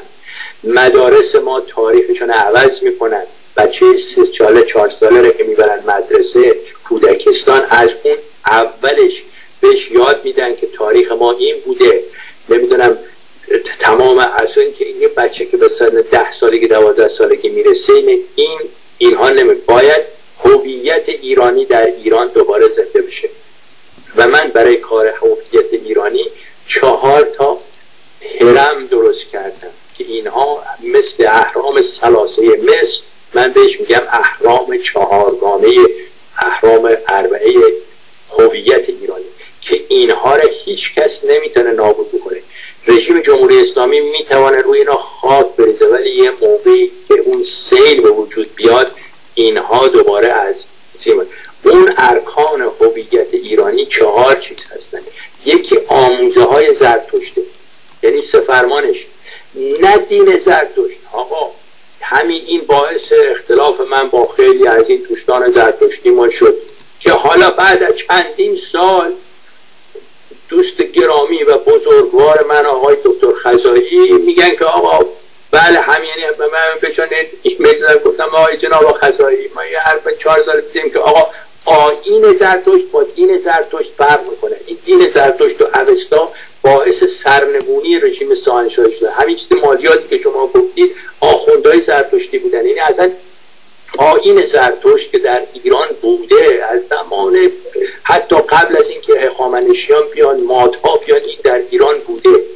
این باید دوباره زنده بشه. یعنی ما بگیم که آین ما سه فرمان که گفتار و کردار و پندار نیکه. دوم در مورد کوروش دوباره دوستان ما که خودتان بهتر می‌دانید چیا هستن. ما من خودم جزء آکادمی نمی‌دونم کوروش هستم با رفیق دوست صمیمی شما آقای عمر آبرامیان اینا. آقا ما دو سه سال پیش نامه نوشیم که آقا از کوروش نه شاهنشاهی نه این چیز 2500 ساله بلکه راه کوروش شما باید اینه با مگن کارتا مقایسه بکنید. این رکن دوم هویت ایرانیه که ما ایرانیا یک چیزی ارزشمندتر از مگن کارتای انگلستان داشتیم. رکن سوم شاهنامه است و همین دلیلم هست. ده سال پیش من این کتاب مقدس ایرانیا رو درست کردم. شاهنامه که شما برید بخوانید و ببینید شاهنامه چیه. این شاهنامه سند هویت ایرانیه. متوجه شدید؟ و چهارم و از همه مهمتر برمیگردم به گفته آقای دکتر بدیعی استاد مسلم دانشگاه در پاریس و سوربن که گفت آقا باید در اسلام ما ایرانیا بازنگری بکنیم. و هیچ راه بازنگری در اسلام نداریم مگر اینکه قرآن ما قرآن به فارسی بخوانیم و به ترتیب تاریخی. وقتی که قرآن به فارسی و با ترتیب تاریخی خواندید هم آخوند شما خل اصلاح کردید و هم اون صدر شیادین که میاد توی برنامه می‌ذاره که در مورد میره کتاب تولد دیگر از شجاعدین شفار در میاره از روی اون صحبت می‌کنه و فکر می‌کنن مردمی خیلی سرش میشه. در حالی که هیچی تو پخش نیست فقط یه حقوقگیر عربستانه که تو تلویزیون رفیق شما برنامه داره. یعنی همون ضد دین ها و هم آخوندار آقای قرائتی الان آمده 38 ساله داره برای ما درس قرآن میده. از یکی از دانشجوهاش بپرسی آقا به من بگو قرآن چیه؟ باور کن نمیدن در حالی قرآن خود حضرت محمد گفته کتاب ساده احتیاج به تفسیر نداره. ما این قرآن خلاصه کردیم در چهل صفحه که شما برید بخوانید. چهل صفحه ده صفحه مقدمه داره. اینو بخوانید. به شما گفتم آقا اینه بده با آقای نمی‌دونم کی بود دوستش شما آقای آقاسی میرزا آقاسی. بله گفتم چندین بیا با من در مورد اون صحبت بکنه هیچ اصلا دیدی نه بله. تو برنامه خودش هم رفته اونجا کلی هم به ما بد و بیرا گفت اون یکی دوستانم همینطوری. آقا ما حرفی نداریم. گفتیم ما قرآن شما به فارسی بکنیم و به ترتیب تاریخی بکنیم تو بفهمید که سوره مک آیات م... سوره مکی چیه آیات سوره مدنی چیه؟ آقای چمنارا ممنونم از شما. باید بریم. دوستان عزیز تمام کتاب های آقای چمنارا روی وبسایتشون هست. خیلی ساده راحت. چمنارا dot net و یک وبسایت دیگه هست به نام قانون dot org با ایشون هم می‌تونید از طریق فیسبوک تماس بگیرید. خیلی responsive هستن به موقع پاسخ میدن. من از این بابت ازشون ممنونم. آقا از اینکه مهمان برنامه ما بودید ممنون و متشکرم. امیدوارم در آینده هم باز با شما باش امیدوارم و به شما درود میگم. خیلی ممنون. روز شب شما بخیر. مرسی عزیز. دوستان عزیز من می‌خواستم اگه بشه از آقای مهداد خانساری خواهش کنم برای دوشنبه ولی دوشنبه در آمریکا تعطیله و ما هم با اجازهتون یه تعطیلی بگیریم. ما که دریا نمیریم یا همین رودخونه بریم دوستانمون اونجا ببینیم و فیلم های خوبی رو هم آقای بهرامی گفته بود هم دوستان دیگه اینها رو براتون به ترتیب گذاشتم. فکر کنم برنامه های تلویزیون مردم رو اگر وقت آزادی داشته باشید بشینید و نگاه کنید و اینها به اصطلاح بد نباشه. در هر صورت باز هم ممنونم از شما دوستان عزیز ممنونم از آقای سهراب چمنارا و چهارشنبه یه نفر دعوت کردم چون قبلا برای اون نوشتم ساعت سه بعد از ظهر اگر اون به هر دلیلی جواب نده و اینها سعی می‌کنم از آقای خانساری تقاضا کنم یا چهارشنبه هفته آینده یا جمعه هفته آینده با ما باشه. پس تا امروز قرارمون این بود که جمعه دوشنبه بنده برنامه نداشته باشم. ناراحت نشید نمردم به پلیس زنگ نزنید و به امید دیدارتون چهارشنبه. حالا چی می‌دونی؟ شاید دوشنبه اتفاق افتاد. نشستیم و با شما گپ زدیم و گفت و شنودی هم داشتیم. روز روزگار بر شما خوش. برنامه های بعدی به این ترتیب.